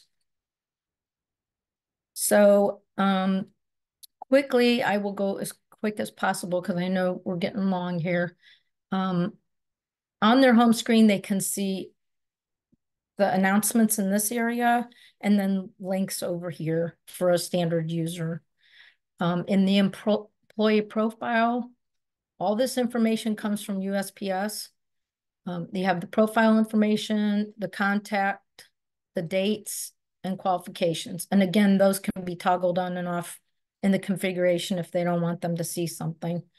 Um, anytime they would want a change in their information. So if I'm changing my address or my name, let me say that they spelled my name wrong. Um, I click up at the top there and then I it will give me a grid to fill in. I'm going to change this to Stacy because uh, they spelled my name wrong. And then I would submit the data change on there. That change um, will go to the data change manager role. So someone who has that role will be able to approve or reject that change. Um, any questions on that area?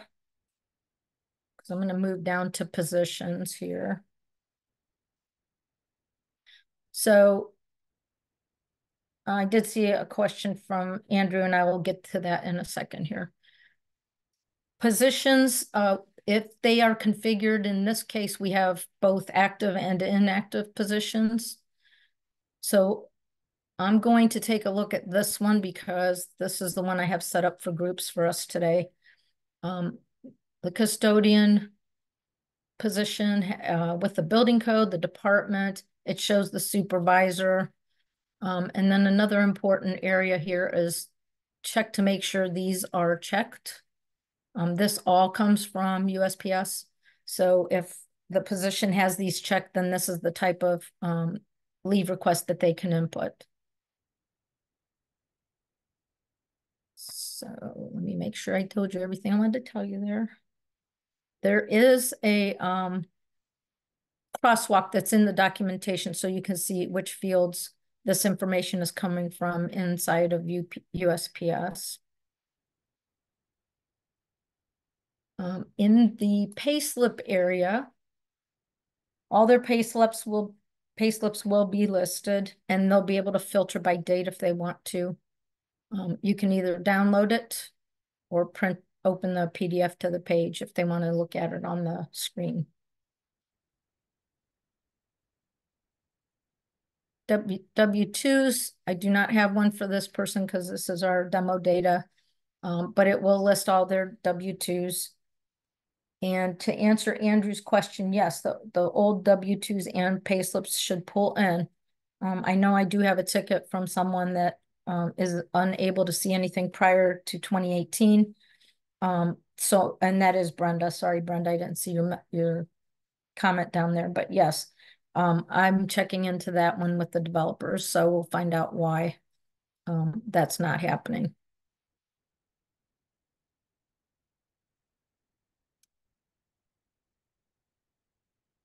Um, one other thing, I'm going to drop down here before I get into leave information. Down by their name, there's a profile. This is where they're going to sign out if they need to sign out. Um, and there's also a profile area that they can click on. This will set defaults.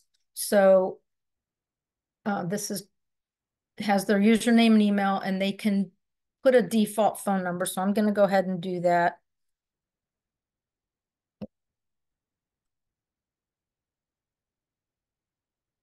And then they can set a default hour of start time. So I'm just going to set 8 a.m.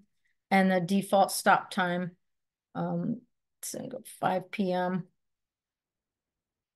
So that when I put in a leave request, this will be my default start and stop time. It also shows them their role and which roles they have. They have the opportunity with these two check boxes to opt out of leave request emails and they can change their screen display to be in dark mode. So if they like to, to see the screen this way, they can do that. And when they're done, um, they can save it.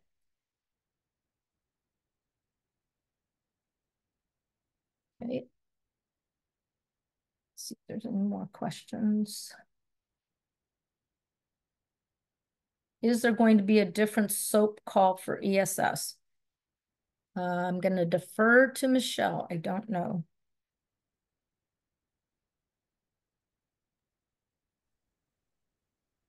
Um, we, I mean, I'm, I'm not sure what you mean, Marcia. Are you in regards to?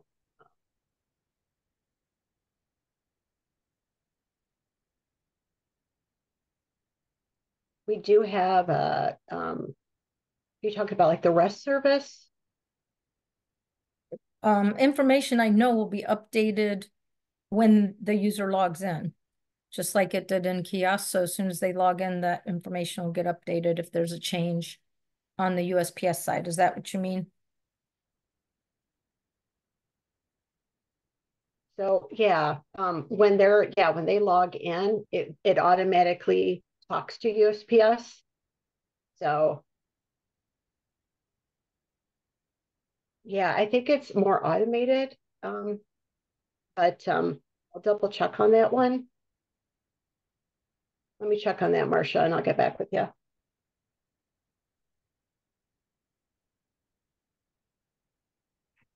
Okay, I'm gonna go ahead and look at uh, leave information. On this screen, um, there's three tabs. Um, all of them uh, do come from USPS. So what you're gonna see in here is the leave balances as of the last exported um, amount that came out of ESS. Their absences are listed. And these again are the ones that have been exported. So anything that has not been exported is still sitting in ESS. They can filter for a particular type if you wanted to look at just your sick leave or your um, professional leave. You can do that. Um, and it, you can filter by any one of these fields actually. Um, so that helps them to restrict between years. Accumulations, we um, have this on a different tab so that they can see all the accumulations from each of the paychecks that they received. Um, they're sick and they're personal. And if I wanted to see just my personal, I could do that. Um, I think that's all I had. So on the leave requests, um, I can go in and create a leave request here on this screen, and I will get back to this a little bit later after Michelle and I discuss the groups and group chains. Um, and then I can also look at my leave requests that are in process. And uh, you can see here I have one that's initiated already and waiting to be approved. I can also look at the calendar to see my leaves and what I've already uh, requested. Once timesheets are ready, this is where they will go in. Um, if it's enabled for this district, they, they would go in here and look at their timesheets. And they can also um, input their daily work, work that they've done. The help screen um, will give the if you check the about information, we'll give you the version number that they're on and um, the build date.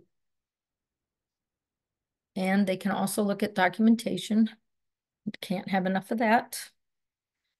And then the development tools they will not see. This is only because we have a support um, instance here that we're using. So that's why it's showing up for them here, but it will not show up in the production version of the software. So did I, um, Michelle, did I have all that for the user and what they can see? And the next section is going to be groups and group chains. Sounds good. Want to make sure I didn't miss anything. Yep. Okay. Yeah, so the next question basically is what is a group and how can I easily see the details of that group? Okay. So as an administrator, um, they can go in under users and groups. And we can think of groups as the approvers. So inside of the group, you can name it whatever you want. You can create a group to have the uh, approvers listed in there. And I'm going to select the one that um, I created yesterday. I named the group custodial approvers. Um, and then I'm creating it as an and group. You have a choice of and or or. Um, my supervisor that I'm going to put in there is Brenda Mullins, and she will be the approver. Approvers, uh, the groups always have to have a approver, one or more. You cannot save it without having an approver in there. The second I put second person I put in there is um Bailey Morgan, and she's going to have read-only access with notifications. So it's close to being the same as it was in kiosk. The second part of this would be to create um, a group chain that I want to use for the custodial workflow. So in this one,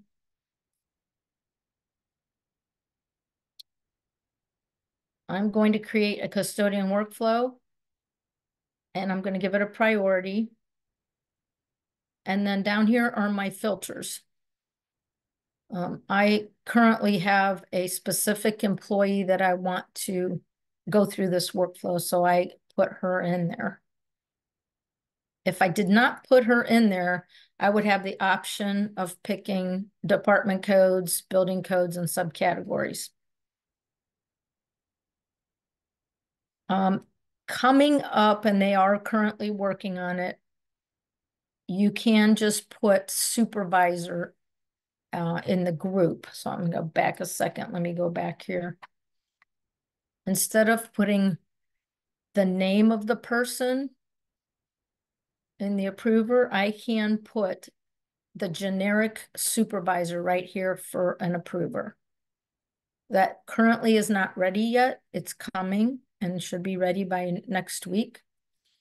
Um, so once that happens, then you can generically put in a supervisor and it will take that person's supervisor, no matter who it is in USPS, and that would become their approver. So in the group chain, then I'm going to go back there.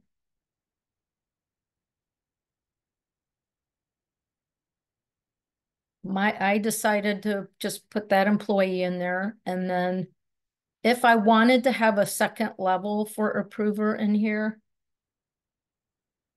I can select, let's just say the superintendent as a second level. If I drag that over, then my first level of approver is the supervisor group, which means the supervisor will get the notification and and approve, and the um, office manager will get the notification and view so that they can see. Superintendent then would be the second level to approve, and then that would be that would complete the approval process. Okay. I'm not going to put that one in there because I want you to see um, the approved one currently. So in essence, that's how you would create the group and the group chains and how you can see them. So you would go through the view area to see them. If you need to make a change, you can edit. If you need to change the priority, you can do that within that same edit the one thing that um, could happen is that a person could fall into more than one uh, group chain. If that happens, the priority would take effect. So if you had it as priority one or two. Um, and if there's a tie, for example, right here I have two custodial leave flows. Both of them are priority one. So where would I fall into, right? it's going to be alphabetical as the tiebreaker if you don't have it set up correctly. Um, I can have every one of my uh, work chains be a one. But you don't have to do that. You can set them up the way you you need to for the district.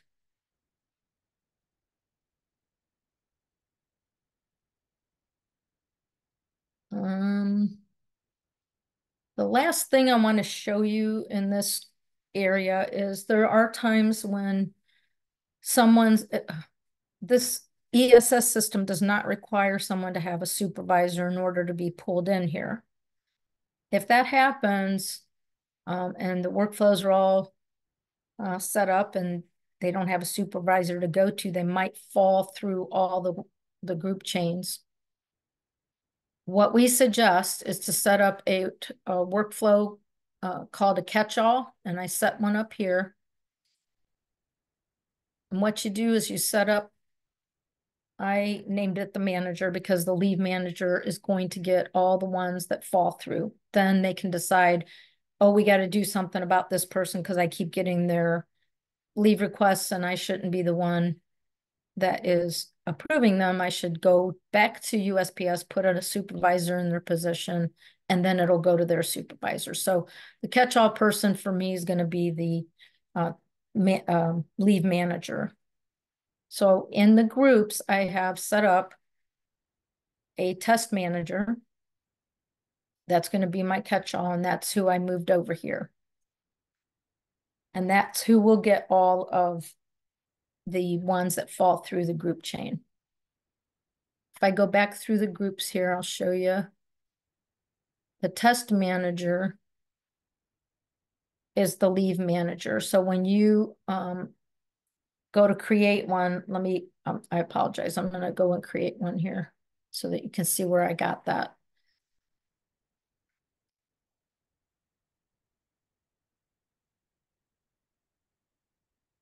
So when I go down here to manager, leave manager, this is a generic, again, like supervisor. And I can add that person there and that becomes um, my catch-all. You can put whoever you want in there. It doesn't have to be the leave manager. Okay. Hey, Mary. Yes. So if somebody hits the catch-all, right? Mm -hmm.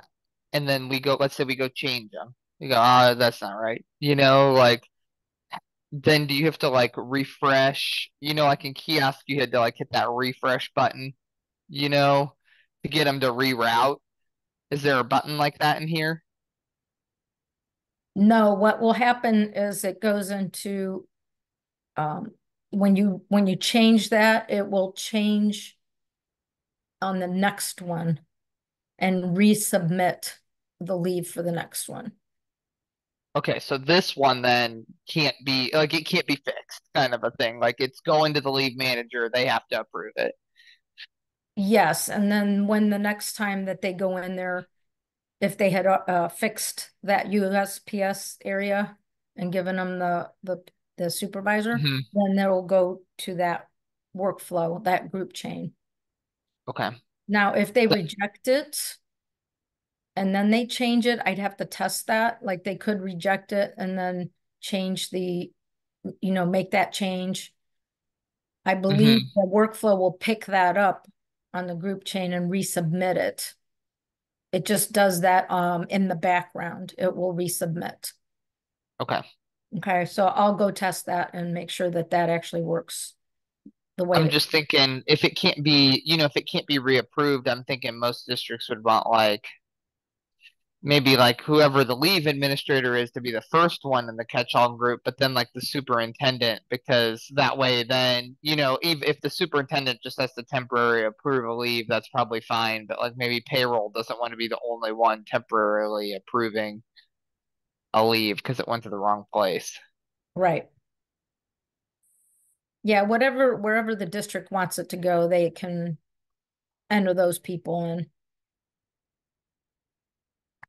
I know that was pretty quick. And then after Michelle um, talks about um, notifications, then I will come back and show you the the, and I'm gonna enter a leave and follow it through to the end where after it's approved, so you can see it on the calendars.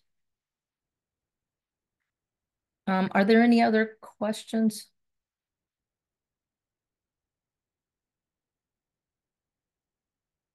Hey, Michelle, stop my share.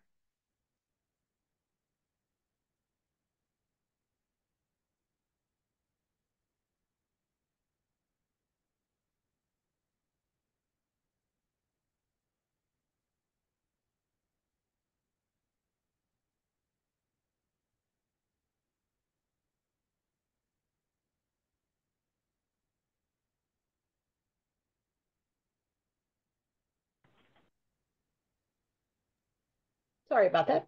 I didn't mute myself. Um, the next one is, do I need to set up an email notification before the district starts processing in ESS?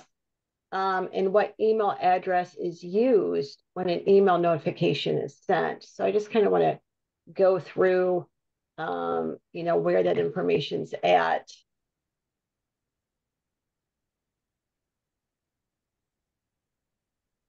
Okay, so under um, system and then the configuration option where there's a lot of information underneath this configuration option.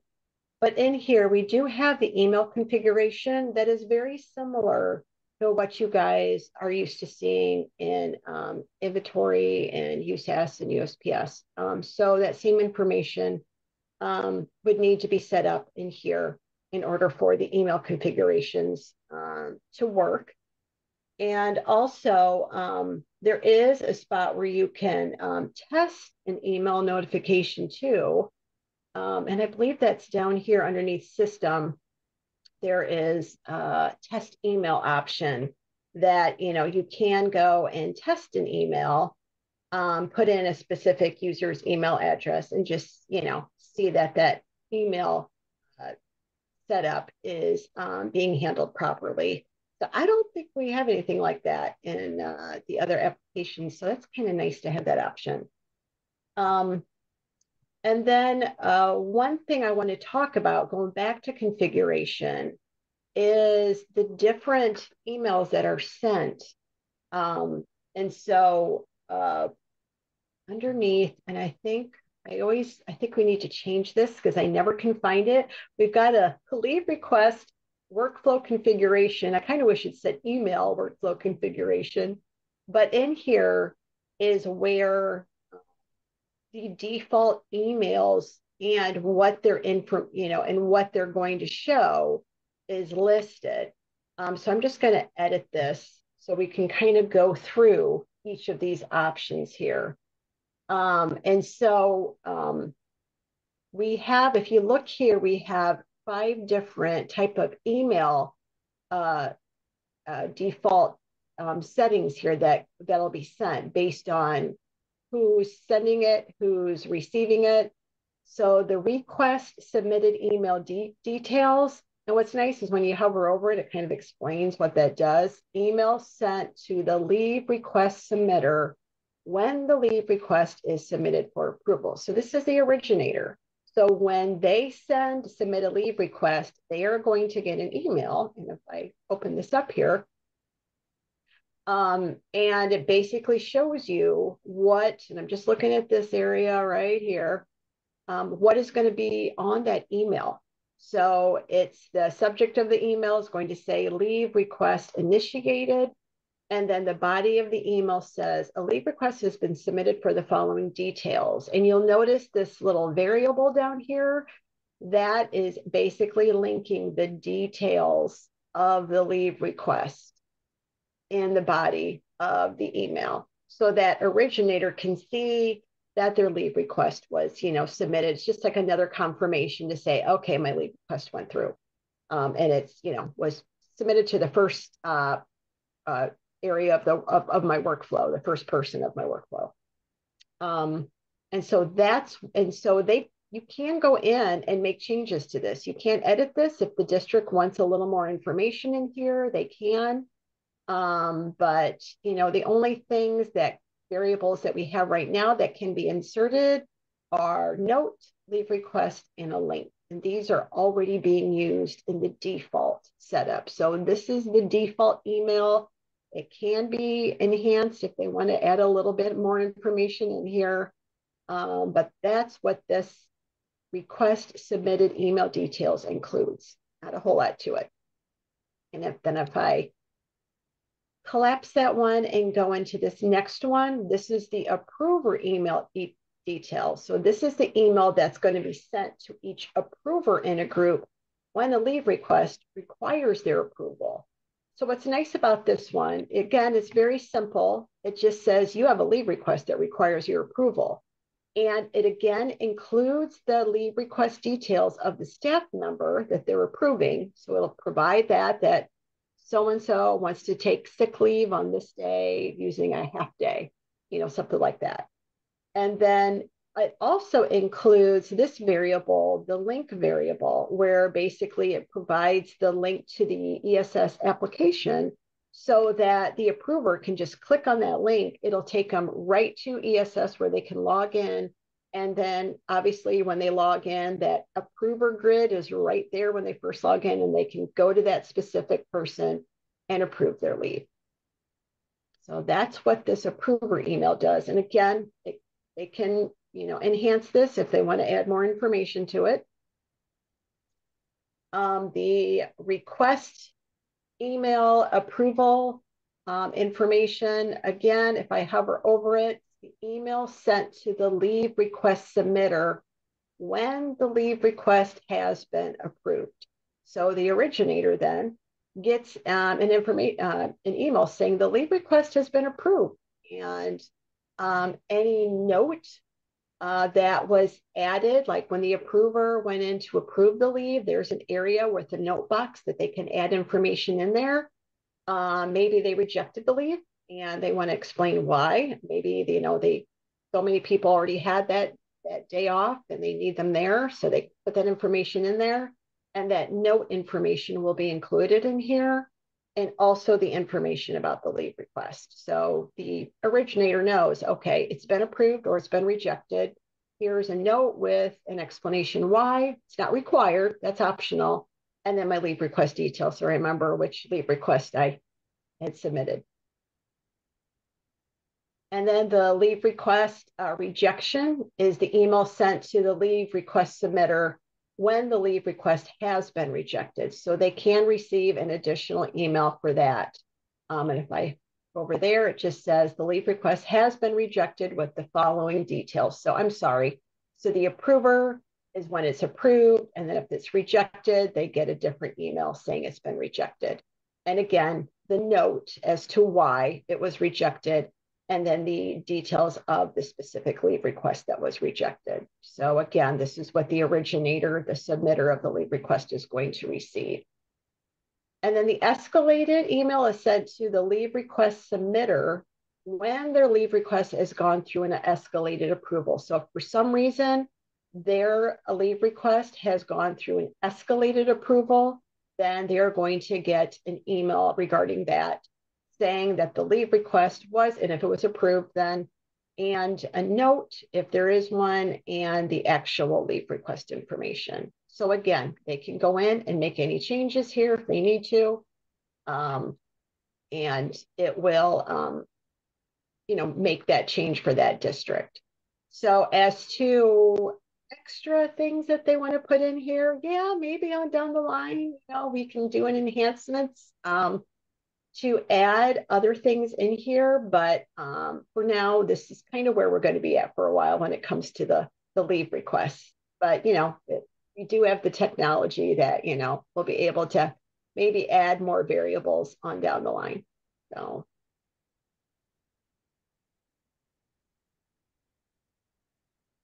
Okay, I think that's all I had to discuss. So I'm going to uh, send it back to Mary, and she is just going to go through an example of a leave request, creating it um, and going through the approval through the export, kind of from start to finish.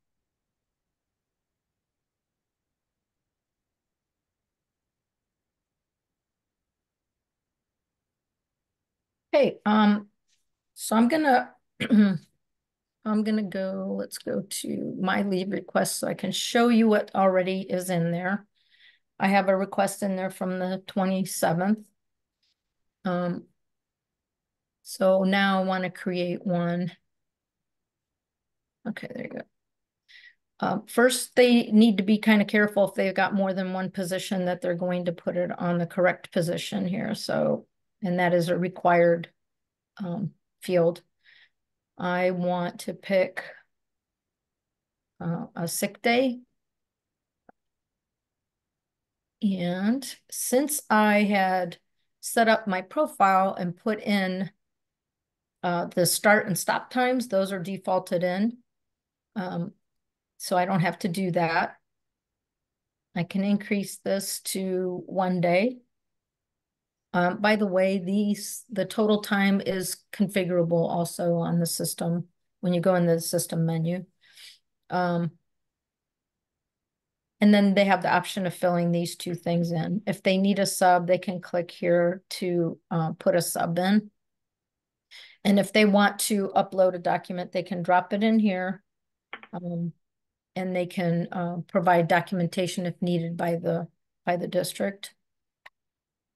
So that's all they have to do, and then they can click on create leave request. So that message there tells me that it's been created. Um, and it sets me up for another date. So I'm going to go in here again and look at my leave requests. And you can see I have one for the 27th and one for the 28th, both initiated. So now I'm going to go log in as um, the supervisor. Mary? Yes. Oh, sorry. I want to see, could you try actually entering a request back under that person where, like, they don't have any time available? I think I saw where they didn't have any vacation time available. And I want to see if you get the same error that we have experienced on our end and if it lets you go through. Okay. Sorry. That's okay. I tried to catch you. Okay. And also, like, maybe we try it with the same day, too. So I think if we go back to leave balances on this person, I Yeah. believe that when we, when you joggle uh, when you were there, it showed a zero balance, right? Yeah, zero balance for vacation. So in the example that we did, we entered like a balance that was more than what they had available. So in this case, if you just put like one vacation day, Okay. and then it gave us like the pop-up warning, you know, that it's gonna go over your time. And I said okay, and it went, and then it gave me another error like it didn't go through. So then I went in and I requested it again, and it duplicated it twice for the exact same day. Yeah, I think I, I did test that and it did give me the error message and I went through it, but it didn't give me that second message that you received. So that one I did send off to the developers to take a look at. So this one was vacation because there is no vacation. Um, and Right. it, it gives them this message at the top here telling them you don't have any. But we're gonna try to take it anyway, right? Right. And I want vacation on July fifth because everybody's gonna be off. And this um makes it July fifth from eight AM to five PM, one whole day. I can put in whatever else I want and then create the leave request. Oh, I forgot to Oh. tell why.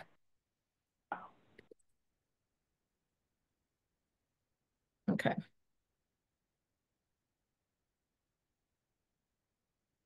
It says successful, so it created it. Um, and the configuration in this system is that I can go over my, must be set up to where I can go over my balances. Um, Can you try I- to enter it the exact same way and see if it duplicates for you too? sure.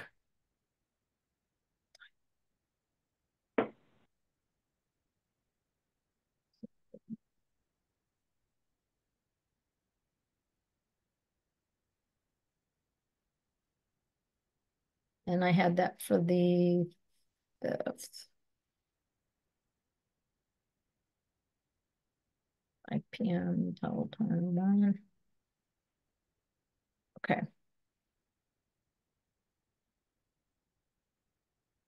Okay, that's the first message that I did get when I duplicated it. And I just said create. that should have given me that the first time. Well, this one I think is saying you're entering a, a request that already exists. Yeah, but this part here where it's making it go negative, Oh, yeah, that part and then it says you can create or cancel. Yep. What did you do when you had it? You created it? I clicked create. Okay. So then, yes, it would create another one.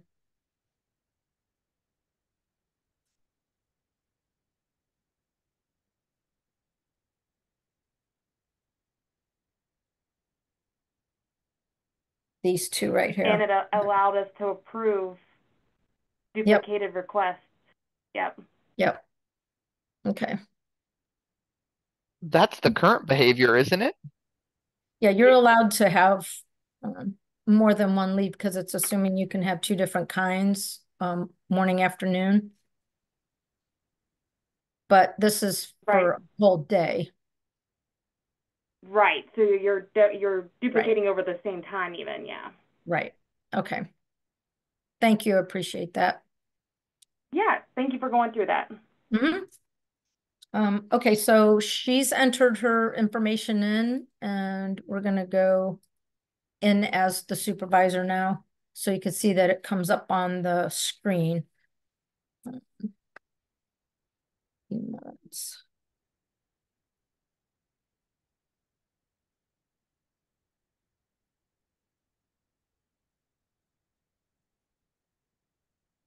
Okay, so I got a, uh, when I get on my landing page, this is what the approvers will see.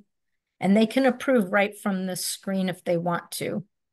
Um, they also have the option of going to, uh, leave request approval down here on the left side.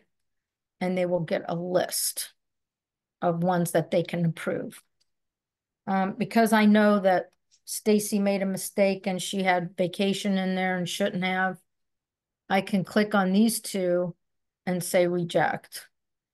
And it'll go back to her.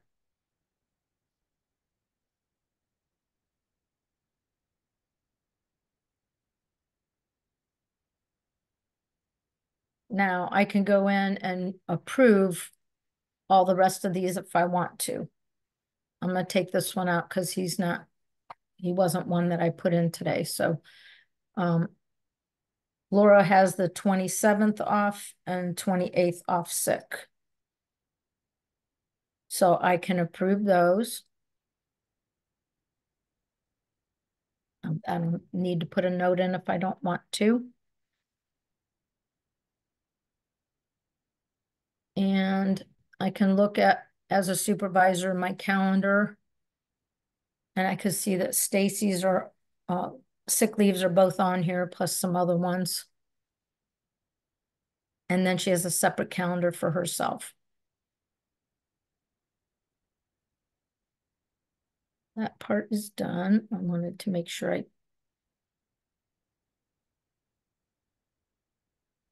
Okay, so I'm gonna go log back in as uh Stacy.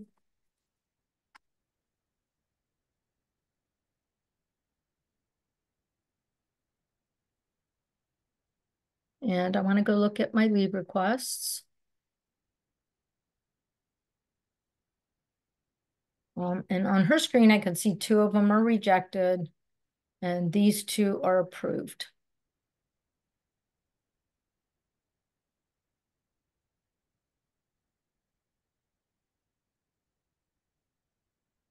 If they need to change something when it's in the initiated status, they can do that. Um, show you this area here. When you go in and look at a request, you can see all the details. Um, you can see the daily details as well. And if you made a mistake and you need to change something, you can do that in here. And, oops, I, I always do that, sorry. Should just go back up to the top there. Um, the last item is the leave trail. So here they can see that it was submitted by Stacy and that Brenda um, rejected it. So if they have to go back and see why, you know, something happened, they can go back and check it. And if they need to delete a request, they can do that right here. They can cancel the request. So if I clicked on this,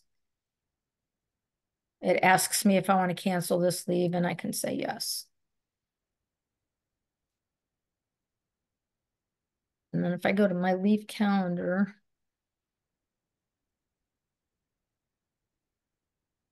uh, it still left it in there. I'll have to check that.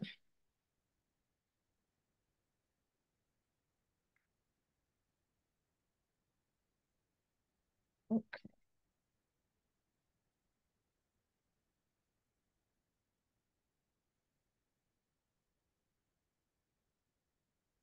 All right, um.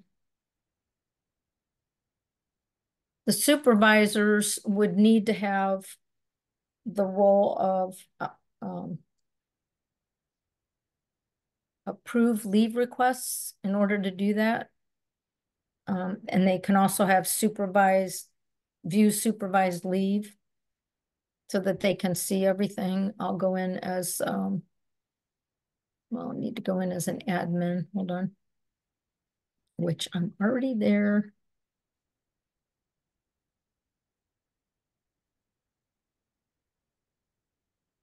So if I look at Brenda um, Mullins, and I want to search for her because there's a big long list of people, right? I can just start typing the name in and it'll bring her up. So she has leave request approver and leave supervisor for staff as well as the user. Um, she also has substitute, but the these two give her the what she needs to do the leave um, approvals and to see the leave on the calendars.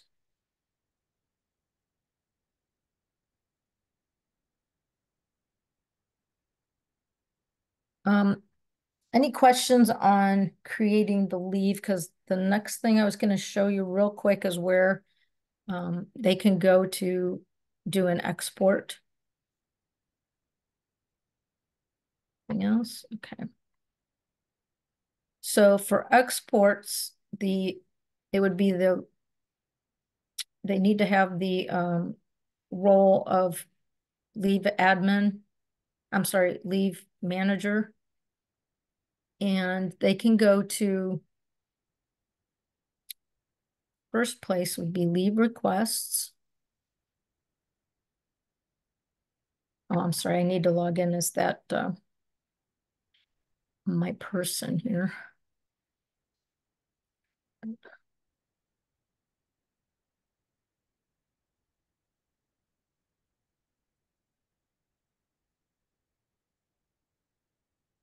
So to export a, a leave, they would go into leave requests and then export leave requests down here. And they can do it for certain dates. So if, if I just wanted to export, um, let's see, Stacy is right here. So 628.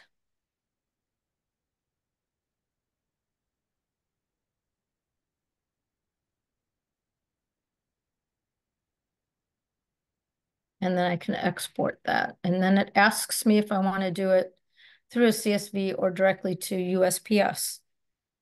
Um, this time I'm going to do it directly to USPS and export it.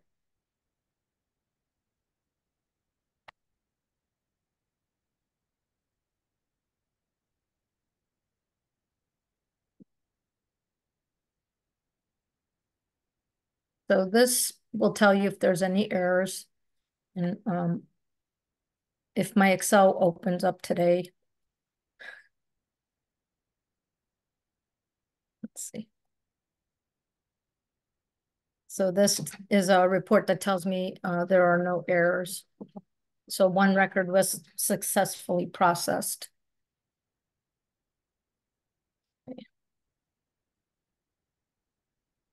Then if I want to look at the history, I would go to um, leave management right here. And export leave history.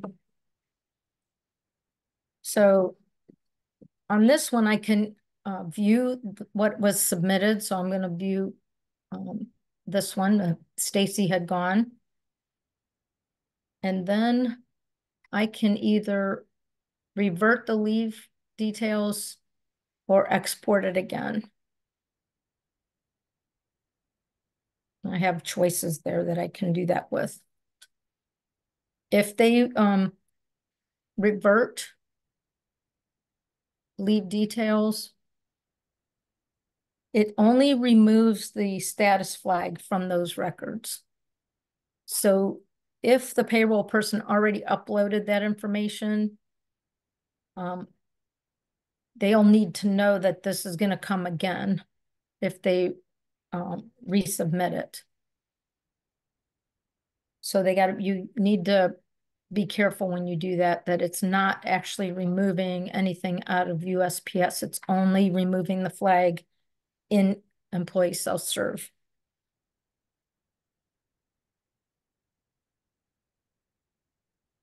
Are there any questions on that part?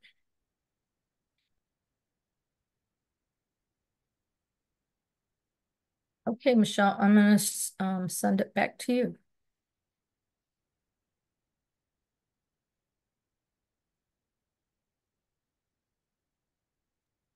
Okay, I think that covered like our um, FAQs for um, today. I know it went way over, and I sincerely apologize for that, but I think we got through a lot of good information um, and just getting more comfortable with employee self-service.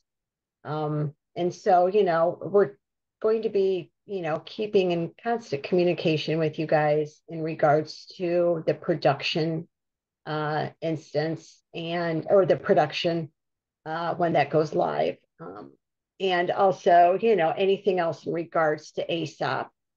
And, you know, we are working on making sure that uh, we get the documentation updated as well in regards to all of that. So um, yeah, we're, we've got a lot, a lot uh, to do before um, we are in the production mode of ESS. And like I said, once, you know, we, that is to the point where it's ready and it's considered production, um, we will absolutely send out an email notification to all you guys through SSDT notices announcing that. Um, and I, I have to add um, that uh, I was um, texting, uh, chatting with Mark a little bit, and just um, for um, his uh, chat message um, or his notification, it, he's got crunch time listed in there, which I totally get because he's you know, trying to get all of this out in order to get everything ready to go by the July 1st deadline. So it's probably going to be working all weekend to get this stuff done. Um, but um, like I said, we'll keep in constant communication with you guys on that. And any questions you guys have, please send out a ticket. Please don't hesitate to reach out to us. This is going to be new for everybody. Um, but we're hoping this session today just kind of got you a little bit more comfortable with the um, conversion steps as well as you know some of these options in ESS to get you started. So we appreciate everyone's time. We hope you guys have a wonderful weekend. And like I said, don't hesitate to reach out to us with any questions that you have. Thanks, everyone. Michelle, can I ask a quick question real quick? Sorry. Sure. Um, do you guys have like a um, like a template for the migration questionnaire for the district. So I know like when we migrated USAS and USPS, the auditors required that we have like the sign off from a district on migrating, you know, their software to a new software platform. Yeah. I don't know if that's No. going to be required or not. I don't know if you guys have heard of that or if you may already have like a template built for that for our districts. We have not, um, we have not had any, anyone requesting that.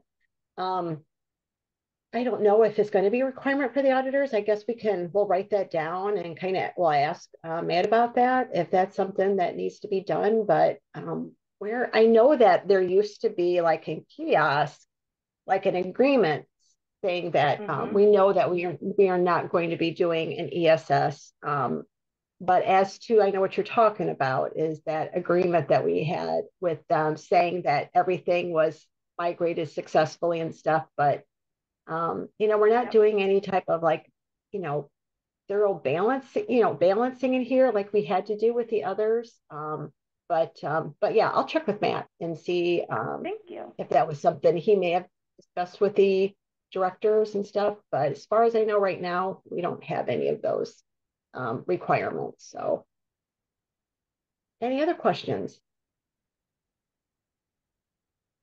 All right. Thanks again. We'll get this out here, um, posted to our um, registration page, and we will see you guys all next week for a recap. Have a good one.